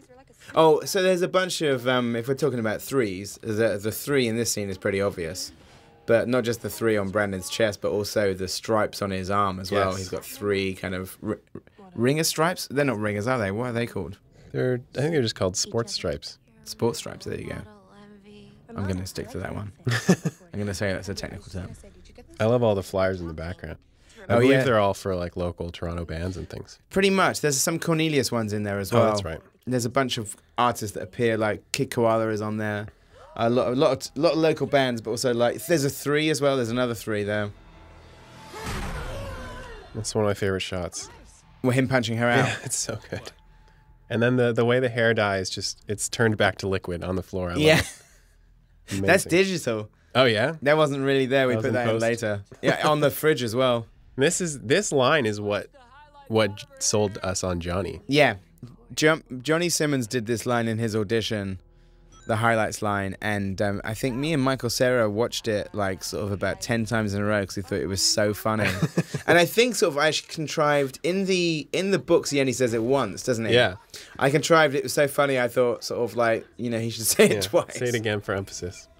Oh, and also in terms of our number ranking, um, Michael is currently wearing a zero t-shirt, Smashing Pumpkins. That's right. Which is in the book. There's Tennessee Thomas disappears right there. Yeah, I always notice that. Yeah. Now, do you think some fans of the books will probably be bummed that uh, Lynette doesn't break out her robot arm? I've seen a few uh, references to that. Yeah. That's that's the only things that people. The only thing that people have mentioned to me that they missed, that they really missed, is that they're not enough Kim Pine, which uh, I readily accept, and you know, is that Alison Pill is amazing. And the other thing is that they missed the robots from The robots, yeah. But I don't. You know what? I love the dragons. I love the dragons. I love that scene. But you know what I love in this scene is that we've got Brandon Routh playing what kind of looks like the terrible electric Superman from the 90s. Well, yeah. Was how long did Electric Superman last? Six months? I don't know. Not very long. And he he took over from real Superman for a bit. He was real Superman. His powers changed cosmically. But yeah, he had the glowing eyes with the smoke coming out. And yeah, he looks a lot like uh, What, what Todd were And it was it like New powers? Recipe Coke where DC readers like reacted violently against Mhm. it. Yeah. Yeah. as I recall. What, what Now- were his new powers? Uh, Lightning. I don't really know. Do you think it was one of those sales ploys where they, they did it just so that when they brought back the original costume, it would have a huge spike I don't in know. sales? I, I feel like it was just thing happens. misguided. I'm sure it. I'm sure it does. There was also a couple of threes on the alley there. Those trash cans had threes on them. Oh yeah, I remember that. Now here's another uh, another bit of your artwork coming up. Another Um, animated flashback. But this this one is uh this I think was a a rough draft in the script for volume 3 that you guys ran with. Yeah, And I didn't end up using the whole thing. I only used the moon bit. yeah, that's right. But the whole wrecking stuff, that was I, I had written that, but these guys someone drew this and made it look exactly like my work, which is it was great. Oscar and the guys from Voodoo Dog, this animation company in the, in London, did this. Um, It looks great. They should draw uh, my next comic. Yeah. they should, well, we should do an animated version of Scott Pilgrim like this. Get those guys to do it. Um, now the other that's that's interesting. One of the things that Bryan just brought up is that we like after Volume Three, I feel, or maybe after Volume Two, we encouraged you to try and map out the arcs for the other like Yeah. four books or three books. Four, Four. books. You'd kind of half written three already. I yeah, no, I think the time at the time it was I had only written one and two, so it was definitely like three and on. but three was But pretty three, much I had the idea from the beginning, like for that first first three book. And arc. would it be fair to say, I've heard you say this, that you you wrote the four, five, and six just to kind of um to to say to us that you were like sort of um basically. well, I mean, I, I I knew that I had Gideon. I knew that I had twins because that would make my life easier to make one book, and I knew that I wanted one of them to be a girl. So there, the three of them already kind of existed.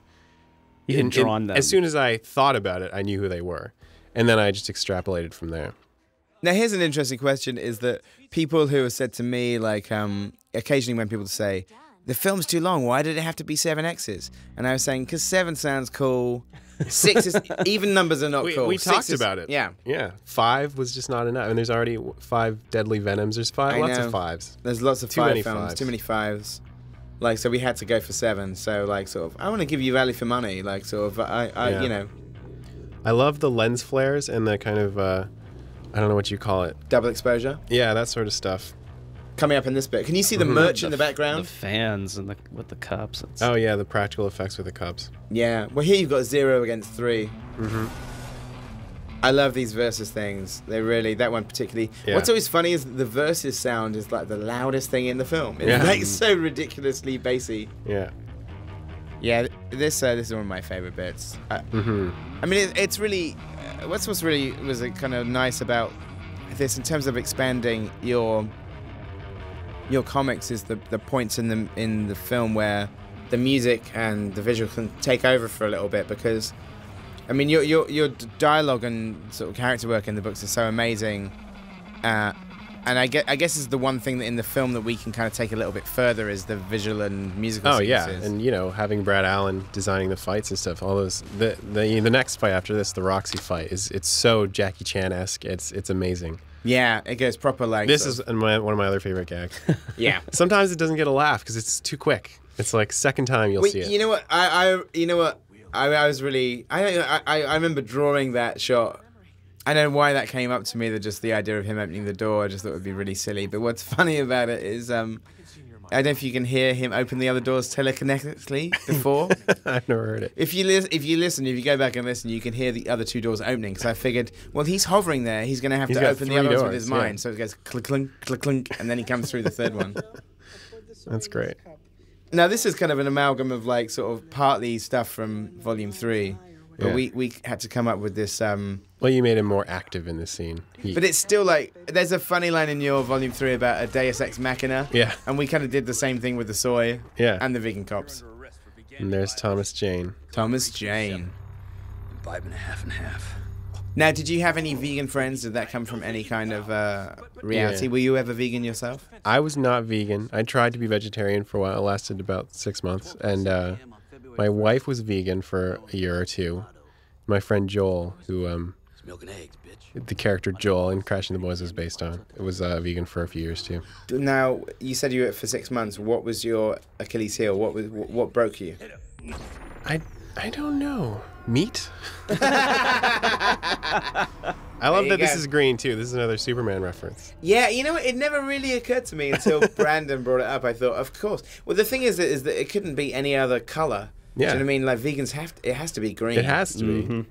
So you know, like Superman is Brandon is always defeated by the color green. Yeah. That will happen in every film he ever does from now on. Yeah. Be gone. Be gone. That I love that. And what I love is Michael's rubbing his head and then the coke on his head after. Like this is it's great. I never I never thought of that stuff. Well, this was a really tricky bit in the script because, you know, unlike the books, which obviously are a lot more expansive, throughout the film, structure wise, in terms of like the kind of his labors of Hercules and fighting the X's and jumping through hoops, the the gaps in between the fights get shorter and shorter as the film goes along. He doesn't get to reset. No, because it starts to become like a long, especially this sequence. We had to fashion this as like his long dark night of the soul. Like, Yeah. you know, the Todd fight and the Roxy fight take place in the same night. Mhm. So I, I, and I think sort of like, and this is another bit where we had to kind of diverge off the books, but I was like this idea about with the Roxy sequence of being that party that you know you shouldn't go to, Yeah. but you do, and it turns out to be as hellish as you imagined. Yeah. And there's this little exchange coming up in the Pizza Pizza, which originally I think there was a little bit more. There was uh Wallace and Other Scott had this little bit of dialogue. Oh yeah, that would be on the a, DVD. Puts a finer point on it. But I, I remember, I don't know if you've ever had this. I remember going to those like sort of um, highly sort of depressing kind of um, you know post concert parties where the band wouldn't be there. Yeah. And there's Honest Ed's. Oh, you missed it. it, it's come up again. I think maybe or maybe it's gone. I think it's I think that was the last time. Hey, we can totally come. Honest Ed's, it's real. It's in that it's in this movie, that means it's a real place. Some people don't believe me that it's real. Oh really? That's funny. Yeah, I, I, I like I like this idea of you know because I think what's great about your books is that they, especially in the later volumes, they become very bittersweet. And I think when we were writing, before you'd written volume six, I always felt like, and I know that you originally had an ending that was a lot more kind of bittersweet. It seemed to be going down that route, mm-hmm. and I think that kind of has a like had an impact on the film in a way. Is that this section of the film is where Scott Pilgrim kind of doesn't want to play play anymore. There was four, There big was the four. four. But I, I kind of like this idea that like at this point in the film, Scott Pilgrim has is now trying to kind of like renege on his contract. Yeah, he's It's trying like- to get out of it. Yeah. Yeah, he did- Finally understanding the the stakes involved. It's too much work for him. And also, uh, hopefully, the idea that Ramona herself is like the kind of the, the quiet center to the storm is that she she is not kind of like it's not like she's a, a, a bitch who is sort of like um, broken. She's not a heartbreaker. I mean, is that based on sort of that? I, I mean, would you agree with that? I, I always, I always felt that Ramona was an interesting character because she's she's caused a lot of heartbreak, but she's not a bad person herself. It's no, more that I- people I are also feel like the exes use her as an excuse to be Yeah. evil. um, Absolutely. which is another side of it. Well, I think that's the thing. In the same way that like Scott Pilgrim kind of like, uh, you know, or the same way that in any relationship you kind of make an ex seem like a Bond villain in your head. Yeah, yeah, and that's that's the whole idea of Envy Adams. Yeah. is that you know, and, and then all the other exes. I mean, they they're these kind of this gallery of you know superheroes, supervillains, and uh, it's exactly what you don't want to think about your girlfriend uh, having been with before you, before you as Michael Cera. Now, what about the, uh, the where did the idea of like her having kind of a uh, a bisexual phase come from? Uh, it came from cliche. it's like, oh, cliche. That's a good crutch. Um, it's good though. Yeah, no, and I, I enjoyed writing the character. You know, obviously she only gets one scene or one and a half scenes in this movie, but it's uh, Mae Whitman is amazing, Yeah, she's incredible. and the costume, LJ, thank you. The costume. uh, No, I think as well as the four on the nightclub, that uh, Roxy has four rips in her tights. That's right. And that verses was pink. Yeah. Girl on girl. I- Exactly. And this is, as I said, this is one of my favorite. This is probably my favorite fight scene in the film. Just, it's so Jackie Chanish. All the little looks, the glances, and uh, it's it's so good. The um, well, what was great working with like Brad Allan and Peng Zhang, and them having worked with Jackie and being a huge Jackie fan is that a lot of um, a lot of fight scenes have gone the slow mo route, and I, I wanted this these fight scenes to be really fast, like the Hong Mhm. Kong films I used to watch when I was a teenager. Mhm. And you know they're all like filmed at like 22 frames per second, you know. But the great thing about it is like, I mean, we had an amazing stunt team, but Mary did that stunt. Like, um, you know, a lot of the actors are doing their stunts in a lot of places. But what's amazing working with that stunt team is that like they they literally have like an Olympic team on set. There's like um, for each character, there's maybe three different stunt people with Right. different special skills. Yeah. And sometimes it's a man, like sort of like Chris and Jar Jar, Chris Mark and, Mhm. and Jar Jar, like they're both like male stuntmen playing the girls in places, and then sometimes you got like a, a girl who's just for the rhythmic gymnastics. Yeah. Just for the f- flipping that kind of belt up. Yeah, Mae Whitman's amazing. Yeah, she's so good. We always had this idea. I remember when we were talking about the script, in terms of like Scott Pilgrim trying to come to terms with somebody's past. There's a level of immaturity in Scott because, like, Oh yeah. because there's some some some people out there, and I'm not speaking for myself. some people would find the idea of a a, a lesbian ex kind of uh, kind of sexy. Well, yeah, you I, had a I guess I sexy am face. sp- speaking for myself. well, how would you would you agree on that? I'd have to. Well, well you you guys wrote uh, Roxy before, or you wrote the the Rox- bisexual jokes before I got to that part in the book. So I stole some dialogue back. Yeah, sexy. You sexy had a sexy phase. phase was one of you guys' lines. Well, I was, I'm ve- I was very. Um, I'm not going to take any credit away from you, but I was very pleased and proud when I saw that in the book. I thought that was that was that was very sweet.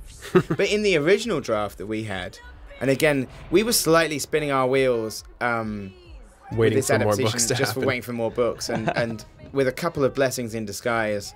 One being that I went off for two years and made Hot Fuzz, and the other being not that the writer's strike was any kind of blessing, but the the writer's strike, which lasted for nearly a year, nine Yeah, months. Uh, long time. Long Too time. long. Too long. But that basically by the end of like the Hot Fuzz and the writer's Strike, Bryan had four books out and the fifth one written, I guess. But in the original draft of our script, we amalgamated, You amalgamated Envy Roxy and and Envy, together. yeah. Which you know, and then as soon as book four was out, we changed it back Mhm. because we thought we have to have Roxy Richter in this film. Yeah. Special occasions. Why did you want? Four's uh, Before was one very of my favorite. It was very helpful The to the film, samurai, the lone wolf and cub. Uh, yeah, fight the, at the end. Ninja Gaiden thing. Yeah, Know who's gonna beat my I think book four is my, I think book four is my favorite actually. I think I think book four is my favorite too. There you go. so if you're out there, don't buy books five and six. Not, it's not worth it. Or one, two, and three. Yeah, don't buy Just one, go two, straight and to four. Five and six, just go straight for four. It's the only good one. um, now, Mary here is is uh, now the chip on the head, which is something that came from your original notes. It's another thing that's not in the books, but that was one tiny from your very early 2005 kind of like trying to write out the arcs. Which I remember you had this amazing series of like notes. I just remember seeing this uh, notepad with all these longhand notes that looked like John Doe's book from Seven. it was just like an amazingly packed kind of. And one of the details which you didn't end up using in the books was the idea of her having a- a chip in her head, which Gideon controls her. I don't, I don't remember if I made that up or not. You did. You also had there was a thing of there at one point there was a, a miniature Gideon inside Gideon.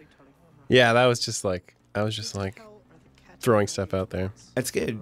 You know, we stole some of it. I always like the idea of a miniature person riding a, a regular sized person.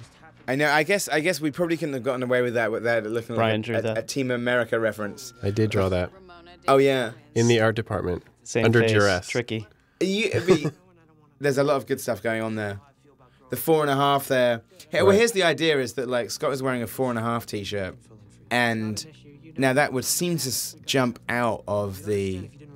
That would seem to jump out of the theory is why is Scott wearing a four and a half t-shirt because he's not one of the X's. But I'm thinking this is the point where he's going towards the dark side. Mm. Yeah, he, This is he's the fourth and a half X right now. yeah, right now he has the potential. To, I mean, I and you you deal with this in the books as well. The the potential of that it could be so easy if, and why one of the things we tried to do in the script when we reduced the timeline is take this idea of if Ramona changes her hair every week and a half, Scott Pilgrim could be gone in a week and a half. And if Yeah. he is, like, he absolutely has the capability to become a jealous asshole and become one of the exes. Yeah, Would you agree, Bryan Lee O'Malley? I would agree. and we can talk about this scene. Yeah. Uh, this was uh, this whole amp versus amp thing was in the um, original draft for Volume Five, which I sent you guys, and you used it, and I didn't. Yeah. But how do you feel about it now? I even wrote the sign with all the exclamation marks. I believe. That's right. That's right. That's one. Of, that's another one of your ones. and then actually no, that was also from my script. The whole uh, Oh, well, the exclamation little mark thing. Yeah, yeah, and then saying that's impossible, and then actually no being the next title. Mm-hmm. Oh yeah. Oh You guys God. just See, ripped me even- right off. I can't even. Rem- but that's what. but that, I think that's what's kind of nice is I sort of sometimes I can't even remember what's like yours and what's mine. Same here. Yeah, no, that's what I was saying. Uh, looking through volume one the other day, I was just like, I, I don't even know what I wrote anymore. this, although I, I will say that I didn't do it because it would have been too hard to draw. Oh really? it's a Is that pain the- in the ass. Would you remember in our original Who draft? wants to draw a wall of amps? Was there a thing, and I can't remember whether it was our creation or not. Originally, there was an idea of the amps becoming robots, That was our. I think that was earlier your idea. and then we didn't. We basically took out the robots because we felt, and in the original draft of the script, and even there's storyboards for it, we had Gideon turning into a robot as the final boss, which I mhm. think again was from one of your very, very early Yeah, biogs. Mecha, Mecha Gideon. Mecha Gideon. Maybe. We went from two robots to none. Yeah. But the I, I think we took out the robots because we felt after Iron Man and Transformers that people would just think we were doing a spoof on on those, which we Right. didn't want. Plus Double Dragon. Yeah. Well, in the original, in the script, it was just one dragon, and then it occurred to us, oh, of course, it should be double dragon because they're twins. yeah, and I did uh, And they a lot do of Double Dragon references Sweet in, uh, hurricane kick in and the book. Yeah, Now, there's a whole bunch of things going on here. The um, the five and six here uh, are basically on their costume. There's like six bracelets on one of the twins, and the other one has five stripes on the starburst on his shirt, which is probably one of the kind of the most difficult numbers to spot. I'll grant you that. I, I'd even, to be honest, I had to consult with the costume designer this morning because I'd forgotten. remind yourself. But there's a Japanese 11. Oh, That's and right. 11 is like six and five together. That's right. There you go. See, I, I got out of that hole very I, quickly. I love I love how this scene uh, works. I love the snow. this was And I love madness I to love how determined they all look. I know this. This is probably the bit where we veer off from the books the most. Mm-hmm. Um, but I think also we we had to within the course of like a film, we had to kind of make. We wanted to sort of kind of make some of the fights musical. You had the bass off in Volume Three, Yeah. but the idea of um, you know Sex Bob-omb staying in the story longer to sort of chart their ascendancy through the music ranks Yeah. and, and tie up with Gideon, which is very different from the books. But it was kind of our way of keeping the ensemble together a bit longer. Not that you don't in the books, but they've kind no, split but up. but in the books, yeah, the, the, the bands are not really about, um, you know, getting getting signed, getting a career. In the in the books, they're just kind of they're in a band for no apparent reason. Like they they're just in a band because it's fun. But I, I like in a way, hopefully, that it works. That the the film is like a an, a bizarro version of the books. Yeah, That- I, I like that. or, or even the idea of like those, you know, you remember those old choose your own adventure books? Yeah. The idea that like, because We've Scott chosen Pilgrim, different paths. yeah, Scott turned left instead of right, and you end up with a completely different film. Yeah. Yeah, I used to love those books. I used to make my own when I was a kid. I, mean, I used to. Cool. Who were those books by? Steve somebody. No, uh, Edward Packard was the, Uh, the oh, there were other ones as well in the UK. Oh, those those uh, fighting fantasy, ones. Yeah. Yeah, fighting fantasy. I had a bunch of those too. Steve. Mm, God. Steve, if you're out We'll, there, we'll never know. Steve, mm, send us a postcard. I used to love your books. Me too. I would I would send you a fan letter, but I don't know what your surname is right now. and you know what? I'm not going to turn on my iPhone to check because it will just It'll just amount a create whole lot of interference. buzz. Um, this was a scene that we wrote. I just came to see your show. This came later, didn't it? Yeah, we wrote and unwrote this several That's times. right. Yeah. Yeah, this was in and out a lot. I'm glad it's in. 'Cause I think Ellen Wong looks particularly, particularly angelic in this scene. Yeah. Aw. And I love how they're both wearing hoods. Yeah, he's got a he's got a choice of behooded ladies right there. I mean, this is another thing that the the whole idea of the love the love triangle between like Ramona and Knives kind of came from um, your scene in Volume Two with the fight in the reference library Mhm. because I love that scene and it seems so kind of um, uh, striking to me. But there was no way of having that scene in the middle of the film as Yeah. in the book. So mm, our biggest bizarro change is the idea of Knives coming back as like sort of her kind of um, ugly duckling turning into a like a badass swan. Yeah. It comes at the climax of the film instead of like in volume two. Badass swan. I can't help myself. A badass. she turns into a badass swan. Speaking of Swan, Oh yeah, exactly. there you go. Wow, that was amazing. You just you just hit a, the did I blow your mind? You just hit commentary gold again, Bryan. That was an amazing link. Well, Swan, um, Swan is a character from Phantom of the Paradise, played by Paul Williams. Well, basically, there's two characters. This is and this is where we like. It, it- you, you should talk about your original idea for Gideon, but I remember talking to Jason Schwartzman and, and you. I sent. I remember sending you Phantom of the Paradise and Beyond the Valley of the Yeah. Dolls, because both of them feature like villainous Phil Spector types. Which as soon as you read, and when we first talked about Gideon as a character, him being like a music impresario and producer, I just thought. And even the way he was drawn, I was just thinking he looks like an evil Phil Spector. Yeah. And it, it's weird, especially given Phil Spector's criminal record now. it's amazing how he has like inspired like two like great villainous portrayals in cinema. and Swan from Phantom of the Paradise was definitely like um, an inspiration for me and Schwartzman. I uh, I hope Jason's other takes of this are in the some kind of blooper reel or something. His Oh. whole Marcello thing. Oh, Marcel, there's also one where, yeah, he says, um, watch your fingers, you'll be needing those later. Which is on the, that's on the DVD. There, yeah, there's got to be a lot of Jason on the DVD. There's also, if you look at the sevens, Gideon's G logo is made up of sevens. If you turn the, the, the G's on their side, they turn into sevens. That's now, tell us about this T-shirt. It's from Rock Band, the But this- video game. This doesn't exist as a T-shirt, though, does it? I don't think so. It do, well, it does now. I mean, but like, I uh, but you drew that in volume five. I drew it in volume five because um, I had been, uh, I, as a musician hobbyist, I had been kind of like, what's what's the point of rock band? And then the guys who uh, create rock band at Harmonix, um, they read that. they were like, we'll send you a free copy and see if you change your mind. And I completely changed my mind because I loved the game. It's so much fun. There you go. So I put it in the book as a little uh, respect to them, and then you put it in the film. So hopefully they sell a copy of Rock Band off this film. If I say what's the point of Rock Band, will they give me a free copy as well? Uh, maybe I don't know. A postage to the UK might be a little bit too much for them. Okay, I won't bother then. Um, this was another scene that we inserted sort of late, just before shooting, because we felt like um, Stacey should kind of make a reappearance and be. She should like- actually be in a shot with Michael Cera. I know. Otherwise, yeah. Well, I guess they're in the rocket together. Oh, that's right. Yeah, but yeah, uh, but um. Hey. Yeah, I know. It's funny, like Anna on the press tour at one point said that like a Stacey Pilgrim was like Jiminy Cricket, which made me laugh a lot. Yeah. Would that be true? I mean, I mean, your sister is is is she your moral compass? Would that be fair to say? At, at this age, she probably was. Yeah. She she was. Uh, she's a few years younger than me, but she was um, more mature, shall we say? would she? Would she? And she'd do the same thing and ring up and give you shit about stuff.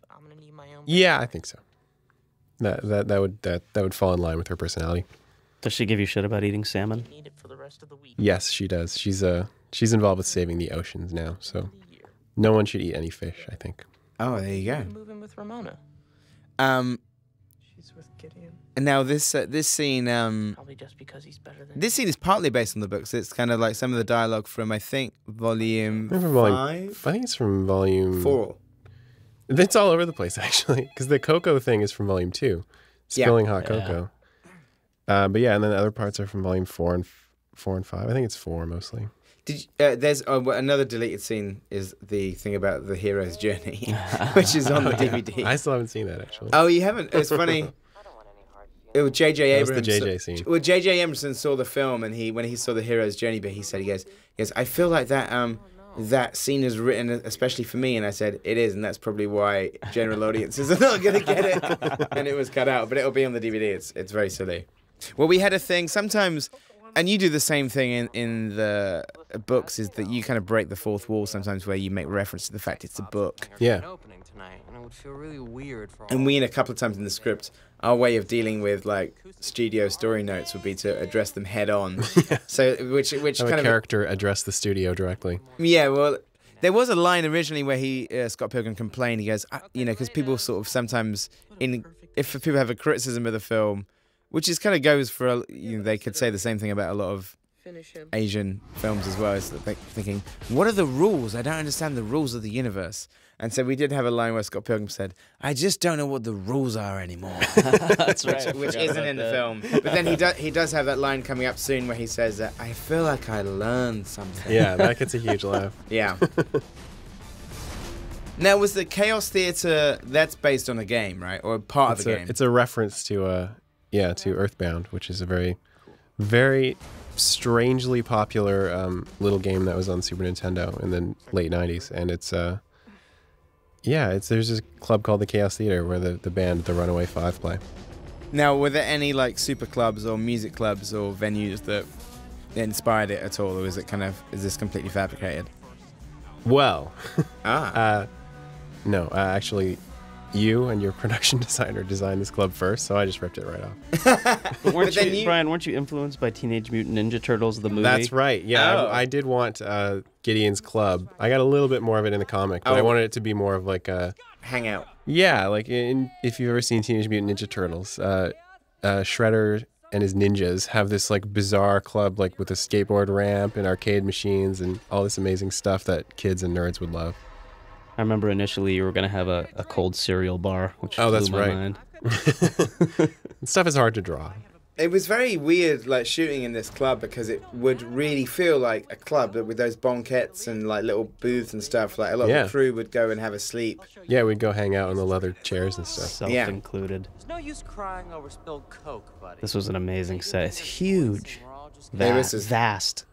I was I was on this set a lot. Yeah, I don't I can't really see it as a real place though because I was there too much. I think Yeah. this is the one set that I would say that about. This is funny. I, uh, uh, you know, like um, Is that not clear?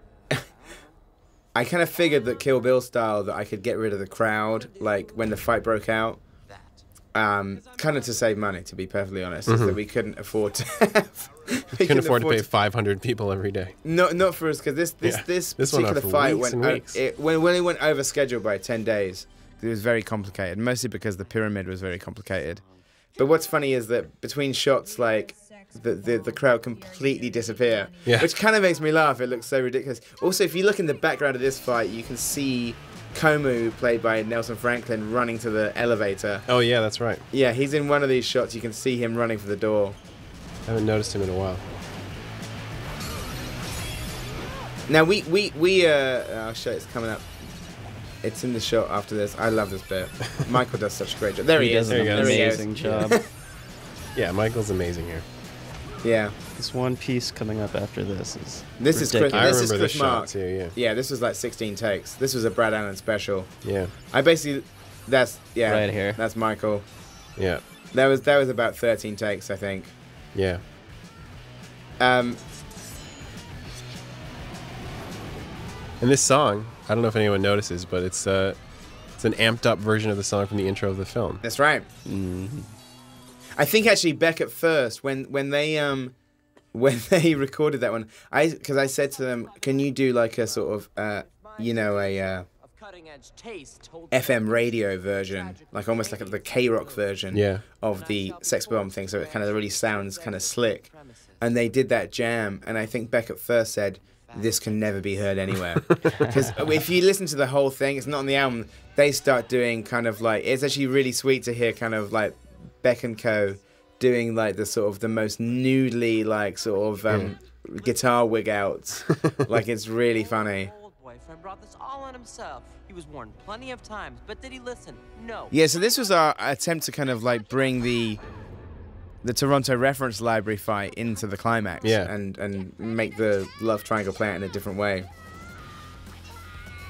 Which I approve of. Well, what was it like? Here's a question. I mean, I I know I kind of know your answer to this already, but we we first wrote a draft in 2006, and I remember, and to be honest, to be perfectly frank, we kind of because I was going off to do Hot Fuzz, we kind of did it as a placeholder because, you know, we knew it needed more work, and we knew I wanted more books to be finished, but it was more of a thing to show it to the studio and say, "Hey guys, remember this? We don't forget about it. I still want to make this film." But how did it feel reading our first draft in 2006? did it? Be honest. Um, felt terrible. we, knew, I, we knew it did because you were No, so know. nice. I was so nice about it. Yeah. Um, no, I mean, I you know, I, I knew it was something that you guys had kind of banged out, and you know, a- and as it went on, it kind of it had less less uh, effort put into it. I think towards the end, uh, which is like completely understandable. It was a first draft, you know. I know. Is it? I, I remember kind of like sort of. I remember emailing you. You'd already. I sent you an email to kind of forewarn you that we'd we'd finished something to hand into the Yeah. studio. Like, and, and it's always that thing. I always call it like the kitchen sink draft, the first one, and we just kind of threw in everything. And sometimes you just put in jokes to make kind of like the development people laugh that are not going to make the finished thing. You know, and in fact, a lot a lot of lines like sort of pretty much there were a lot more pop culture references that we threw in and Yeah. then took them all out. Um, one of them there was even a joke about Superman Returns um, at one point, and and we cut it out not because a we, t- we thought it was something that was better, but also thinking I can't make fun of a film that Brandon's in when Brandon's in the film. um, now talk about the Dream Desert. Where did this inspiration come from? To be honest, I have no idea. I have no. recollection. Did it come to you in a dream? Maybe. Uh, I I don't know. There's a lot of dreams in the first Book. Scott Pilgrim, yeah, and it's uh, I don't know why. It's like seems like a narrative crutch, but um, it was a good way to to uh, kind of get into the, into his head, like when there there's no narration, there's no kind of inner world other than that's what's externalized in the visuals and the fights and stuff. So this was in the first book. Obviously, there's not as much craziness, so the dreams are kind of a shortcut to that, I guess. I was more alone Yeah, yeah. we were together than I ever was on my own. This is my. I was trying to do a full-on Naruto here. Yeah, there's so many layers. Yeah. And Jason's kind of having a conversation with someone off screen. Yeah. I, I, there was, I think he was doing. There was no sound recorded there, but he was definitely talking to. s- He's like he's talking to somebody at a party. Yeah. Someone cooler than a Ramona. Yeah. That's the idea, I guess. He's blanking Ramona. I really will leave you alone forever now. Now, um, yeah, the chip idea I definitely remember was from one of your very early, early, early kind of like sort of outlines, but something that you know, and we kind of used the chip as a way of like, it's like um, Ramona's restraining bolt. It's kind of like holding her back in the final Mhm. fight, and the idea that Gideon can literally control her mind. Because, I, I, but it was your your, you know, thing that came through Volume Six, and I remember when we were writing the final draft, the idea that like um, the switch around being that it was the one time that she was kind of like obsessed with him. Right. It, you know, that was that was a kind of a, a yeah. a really Yeah, I wrote kind some of the lines in this scene. yeah, yeah. That's that's that's what happened just before we started shooting. I, th- I remember sitting in our apartment in Toronto, and the three of us going through the script. But then also you rewrote the Dream Desert scene, or you did a pass on it. yeah. I wrote some of the lines in it, yeah. You know, and then we essentially- reshot little bits of it. Like, yeah, yeah. We did sort of some of the reshoots. So um, so essentially you should have been paid for that, but you know you're not going to get anything, right? Really? That's the first time hearing of it. Oh, he's back in. Uh, yeah, he's we, back we in the just, room. We just missed. Uh, a whole bunch of stuff. We just missed. Uh, yeah, y- the comic book is better than the movie. Oh yeah, yeah, yeah. well, I, I did that. That was never in the script, was it? I don't think we ever wrote that in the script. No. I don't think so. But I had it as improvisation. But you were on set the day that Nelson Franklin said that. I remember that. you were sitting by the monitors when he did that. Yeah, So was that the first time you heard that line? uh, probably. That's good though. It's like uh, it's preemptive. Uh, you know, you're critic proof now. Yeah. I did that as a preemptive strike against the fanboys. Go, I said it before you, therefore I win. Take that adaptation, people. Um, now, Yeshi, you in the final book, like I um, when I was editing, like it was when you were still drawing book six, and we had some, we had another scene that came between uh, the Dream Desert and his extra life. He went back to Wallace's and did the do-over thing. Right, it was quite a bit longer. It was a little bit longer, and then when I read Volume Six and I saw how quickly you got back into the Chaos Theater, Mhm. that inspired me to kind of cut that bit out and get straight back into Chaos. Yeah, it feels good now. Yeah, although I do, I mean, my, one of my favorite bits is him telling John Patrick Amedori that his hair looks stupid and him exploding. So I'm, I'm glad that's still in there. That's still in. Yeah. If you look back at that, you actually, if you freeze frame that bit, when he explodes into coins, his lollipop is hanging in the air and drops down. it's proper Looney Tunes gag. Very good. I love that line. Steal my boyfriend, taste my steel. Hmm. No knives, I hurt you. I like I like the sort of a lot of the effects in this sequence like really remind me of like old 80s films and stuff. Yeah. Like the fire and do you know it's got like this hand drawn quality. We kind of wanted a lot of the like the dragons and stuff, but even like the the sword effects it kind of feels a little bit more like Ghostbusters than like sort Yeah. of than contemporary films, which is nice. Mm-hmm. Never felt better. Yoo-hoo! I love the smoking arm too. What what is what is the deal with that? Is he made of fire? Is he Satan? Well, he um because he's been chopped by the flaming sword, we figured his, his suit would be Ah, on fire. That makes sense. Yeah. Yeah, that was a that's digital smoke. That, Yeah. in, in some of the earlier bits, it's real. Yeah. Now this bit Hobbit came up because um, we did originally have this robot sequence That's with right. Mecha Gideon, uh, which I'm very glad we got rid of because I think this is my favorite bit of action. Yeah. This whole Keeping it on a personal level, I think, is good. Yeah, and it's it's pretty true to kind of like games in terms of that you have to defeat the final boss twice. Yeah. And then the pixel sword is is brilliant. I I, remember I gave Oscar a note on it because uh, it wasn't quite working, and I was like, "You have to keep the pixels straight." He was rotating the pixels in early versions, and it just didn't really look like pixels. It just looked like a mess. Was that that ref, that that little um, video that Oscar did with the stuntman? Do you remember that? Yeah. Yeah. It was Yeah. with Jar Jar, right? Yeah, and he was just working on it. He was trying different things, and it wasn't quite working. And that, that was the one note I gave to Oscar. That's one of the things I got to say about this whole experience is that it felt like such a cooperative effort because you had like myself and stunt guys and animators working hand in hand. Yeah. And like, you know, Brad Allan and Peng are like as bigger geeks as the rest of us. like Brad Allan. Well, they like shot the whole film, like their own version of it. I know they? there's this kind of sweeted like stunt version of the film, which Yeah. kind of looks like some big, hmm. bizarre It's kind of like Asian insane. pirates. Which Yeah. You'll, you'll see some of them on the. Actors change from scene to scene. It's brilliant. it's so it's so funny to watch because ba- basically any you know a lot of their r&d and research and fight tapes would kind of like get way if you thought the fights were long now like um, all of their versions were like 10 minute long fights which are amazing and like in, a, in a different universe i would i would absolutely pay to There'd see be that a three-hour film. a yeah. three hour film of just kind of endless fights this um i like this shot here this changed a bunch of times actually Yeah, the line that he is- says Yeah, the line here was uh, What? one of one of my favorite Jason lines that got cut. It was, uh, Are you guys mad mad at at me? me? But it, it felt like he was he was too nice. Then. Yeah, it was. Too, it, it was. It, it felt much a lot better him to say a cocky what. Yeah. I love this bit here. The animation in this is extraordinary. Mhm. And this was the idea of them, um, Scott and Knives playing out their Ninja Ninja like routine at the end was was always there. Mhm. But the idea of actually putting the graphics in Yeah, didn't come until. and I like saying that the two-player mode thing was that's a good master stroke there. Oh, thank you. Well, you know what I really like there? If you listen to the sound, the sound effects on that two-player mode gets me every time. It goes beep beep beep beep beep beep beep beep beep. It goes up in, it's like goes up in pitch. Yeah, it's great. It gets anyone going. Pain in my Now this is reshoot. Yeah, this bit here was a was a reshoot. We came back a year later and we changed some bits of this, including the ending. And Jason uh, uh, Gideon had like a speech in the original version, but it wasn't. He didn't really show teeth enough. He kind of wasn't like he wasn't properly booable. Yeah. And so the idea was, and also you had this funny line in Volume Six about him being drunk on On Craigslist. Craigslist. and uh, I didn't want to put Craigslist in because it means nothing outside North America. Yeah, I feel I, I I'm uh, slightly regret using that particular word. So the idea of like the contact information guy came in. Yeah.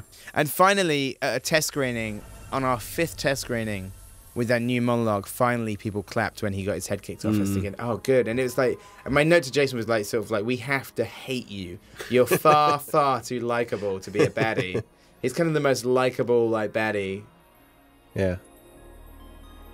I love this piece of music by Nigel Godrich. This is so beautiful. It's it's amazing.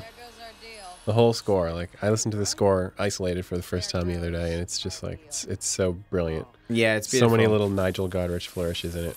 This this one's amazing. I love it. It sounds like kind of Nigel should be like, I know, making like Apple Apple startup chimes and stuff like in the future. Take over from Brian Eno doing all of that kind of stuff. Did Johnny just eat a coin? Yeah. Yeah.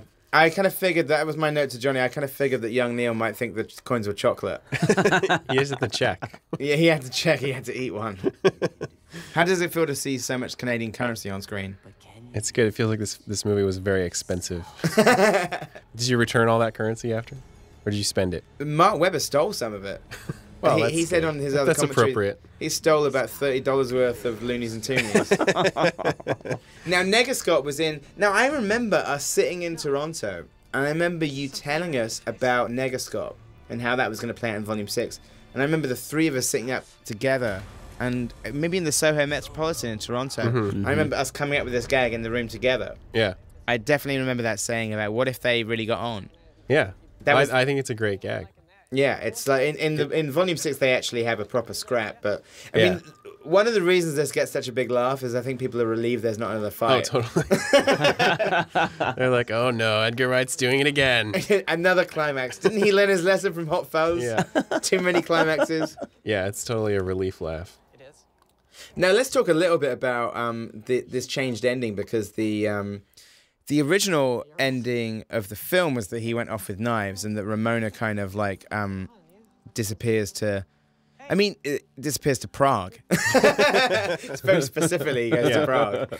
Now, uh, you know, and th- and this kind of I think when we first wrote the first draft, you hadn't written volume six, but I remember one of your and one of the reasons that came about is I think maybe me and Michael felt a lot of sympathy for knives, Mhm. and I think maybe that's because Volume Two had just been out, and Yeah, I two think and the three, sort of, yeah. and, the, and I think the dumping scene in like sort of Volume Two is Yeah. it felt like something that like You're uh, like that poor girl. Broke our hearts. Yeah. well, we also had this idea. This is very strange, but we talked a lot about Pretty in Pink and the fact that like many people decry the fact that she goes off with Andrew McCarthy and not Jon Cryer. Mhm. And so this was our attempt to kind of like um, reverse Pretty in Pink, and then uh, ironically, exactly like the original Pretty in Pink, where apparently they shot an ending with Jon Cryer, um, which I think is true. Uh, somebody tell me that. It might not be true, but um, don't quote me on that. But the idea is that now we, we actually went back the other way and we did the right thing. But it also because as soon as I read Volume 6 and how y- you kind of made a change. Oh, When you wrote Volume 6, you. At some point, you left it kind of open ended so that you could see how you felt when you Yeah, wrote the final volume, exactly. right? Yeah, when I started volume six, I wasn't quite sure, but then I just felt like it was everything was pointing this way, and uh, and he's you know he's fighting for her all along. That's the line that I gave to Knives, and Yeah. uh, and it just it just felt right. It felt it felt like a cheat to do anything else, really. Well, it was interesting because we test screened it with the knives ending four times, and some people really liked the knives ending, and in fact, some some people who, uh, and interestingly, usually older people, were even like sort of like angry that we changed it, and I sort of said, well, you should read the final book because, but I think one of the other things that's interesting about it was, it felt like it disempowered knives. That like it felt like a, and as soon as I spoke to Ellen Wong about it, after basically we, we kind of um I, you know decided to sort of change the ending and then before going back to the studio and saying can we reshoot the ending? me michael and bryan got together. Actually we didn't even do it together. We did it all by email right? Yeah, it was just like Yeah. Passing it around. tons of emails back and forth. yeah we wrote the scene. We had a part. It was like sort of you do a pass you do a pass you do a pass. It kept going around and around. And um you know what? Actually jj abrams even read it because like he'd seen the sort of knives ending and i remember sending it to him and he thought it was really great. But you but bryan wrote the line that like it got a round of applause from like the audience at comic-con and i was really pleased with the line of knives saying I'm too cool for you anyway, which is such a great wrap up for her character. Yeah. And uh, Well, in the earlier version, there was a line where I think Scott said, "I'm cool enough for knives" or something. There was just some some variation on that. So I was like, kind of trying to give that back to knives. Yeah, it's it, it's very sort of. I think it's sort of. It's definitely because at one point I remember your very early volume six notes. You had sort of like potentially had like a more bittersweet ending where Scott ends up with nobody. Yeah, where Scott kind of goes off on his own, having hopefully learned something. Yeah, I know. I always, I always kind of figured that that was an ending that maybe the studio wouldn't go for. Uh-huh. And so I remember we wrote the Knives ending as being a sweet kind of cyclical thing. But it always seemed like, even though I like elements of it, the dialogue that we wrote in the original ending never quite worked as well as it should have. And, you know, at the, at the test screenings, some people quite rightly, exactly what you said, felt cheated. They just watched Yeah, Michael well, I- Cera I be beaten up for 110 minutes. Yeah, I mean, and plus he, he goes right back where he started in that version, which is like he learned something, but he just, you know, he, he doesn't really go anywhere. And then Knives doesn't really go anywhere, and then Ramona kind of just disappears, and, and she never gets resolved. So I, I felt like that was a cheat for everyone. Well, I think hopefully what works nicely about this ending is that, and it's interesting seeing people's interpretations of it. It's one of the things that I think when we wrote this new ending, that's similar to to, to the ending of the books, but the idea is that Scott Pilgrim is going to leave Toronto, that he's making another. You've basically reset the film back to the first day, and is like, is Scott with everything he's learned gonna take another leap into the unknown? And yes, he is, and maybe Scott and Ramona aren't have already split up by the end of the credit roll, which is very long, frankly. Um, you know, or, or is this the, the start of a beautiful relationship, or is this just like their second first date? You know, they. Yeah, maybe it's just a time warp, and they'll end up back at her apartment. I know that's what I kind of think is that that door, like, could mean anything, and it could mean that they go back to the apartment and make Yeah. out again, and maybe he chooses a different tea the second time round. He Who chooses knows what the li- teas liver, are? Liver disaster. yeah, she says sort of like, "What kind of tea do you want?" He said, "Oh, I'll have sleepy time." Yeah. He knows there's more than one tea now. Yeah, and he gets times two bonus for everything. He learned something. But that's a beautiful thing at the end of your books is like the idea, and, and what really resonated with me with the end of volume six is the, and what really resonates for me with the character, because I've been through this and where I can find a, like, a personal connection to Scott is the idea, you know, in terms of wish fulfillment, like aside from the fighting and like being like a kick-ass fighter, the idea of like how many times in a relationship or, or anything in life are you thinking I'd love to do that all over again and I'd make better Yeah. choices. Yeah. And I think that's, in terms of it being a positive gaming thing, is that that would be a lot of us would like to kind of like do over and do things like better the second time round. Yeah, that's that's a wish fulfillment for sure. Michael Bacall, would you like to add anything to that before this film ends? Mars. It's really like sort of surreal. That was uh, very deep. That was very deep. Here he comes, Scott Pilgrim. Paul Robertson. There you go. Thank you. Thank you for listening, guys. There goes Scott Pilgrim. Goodbye. The end.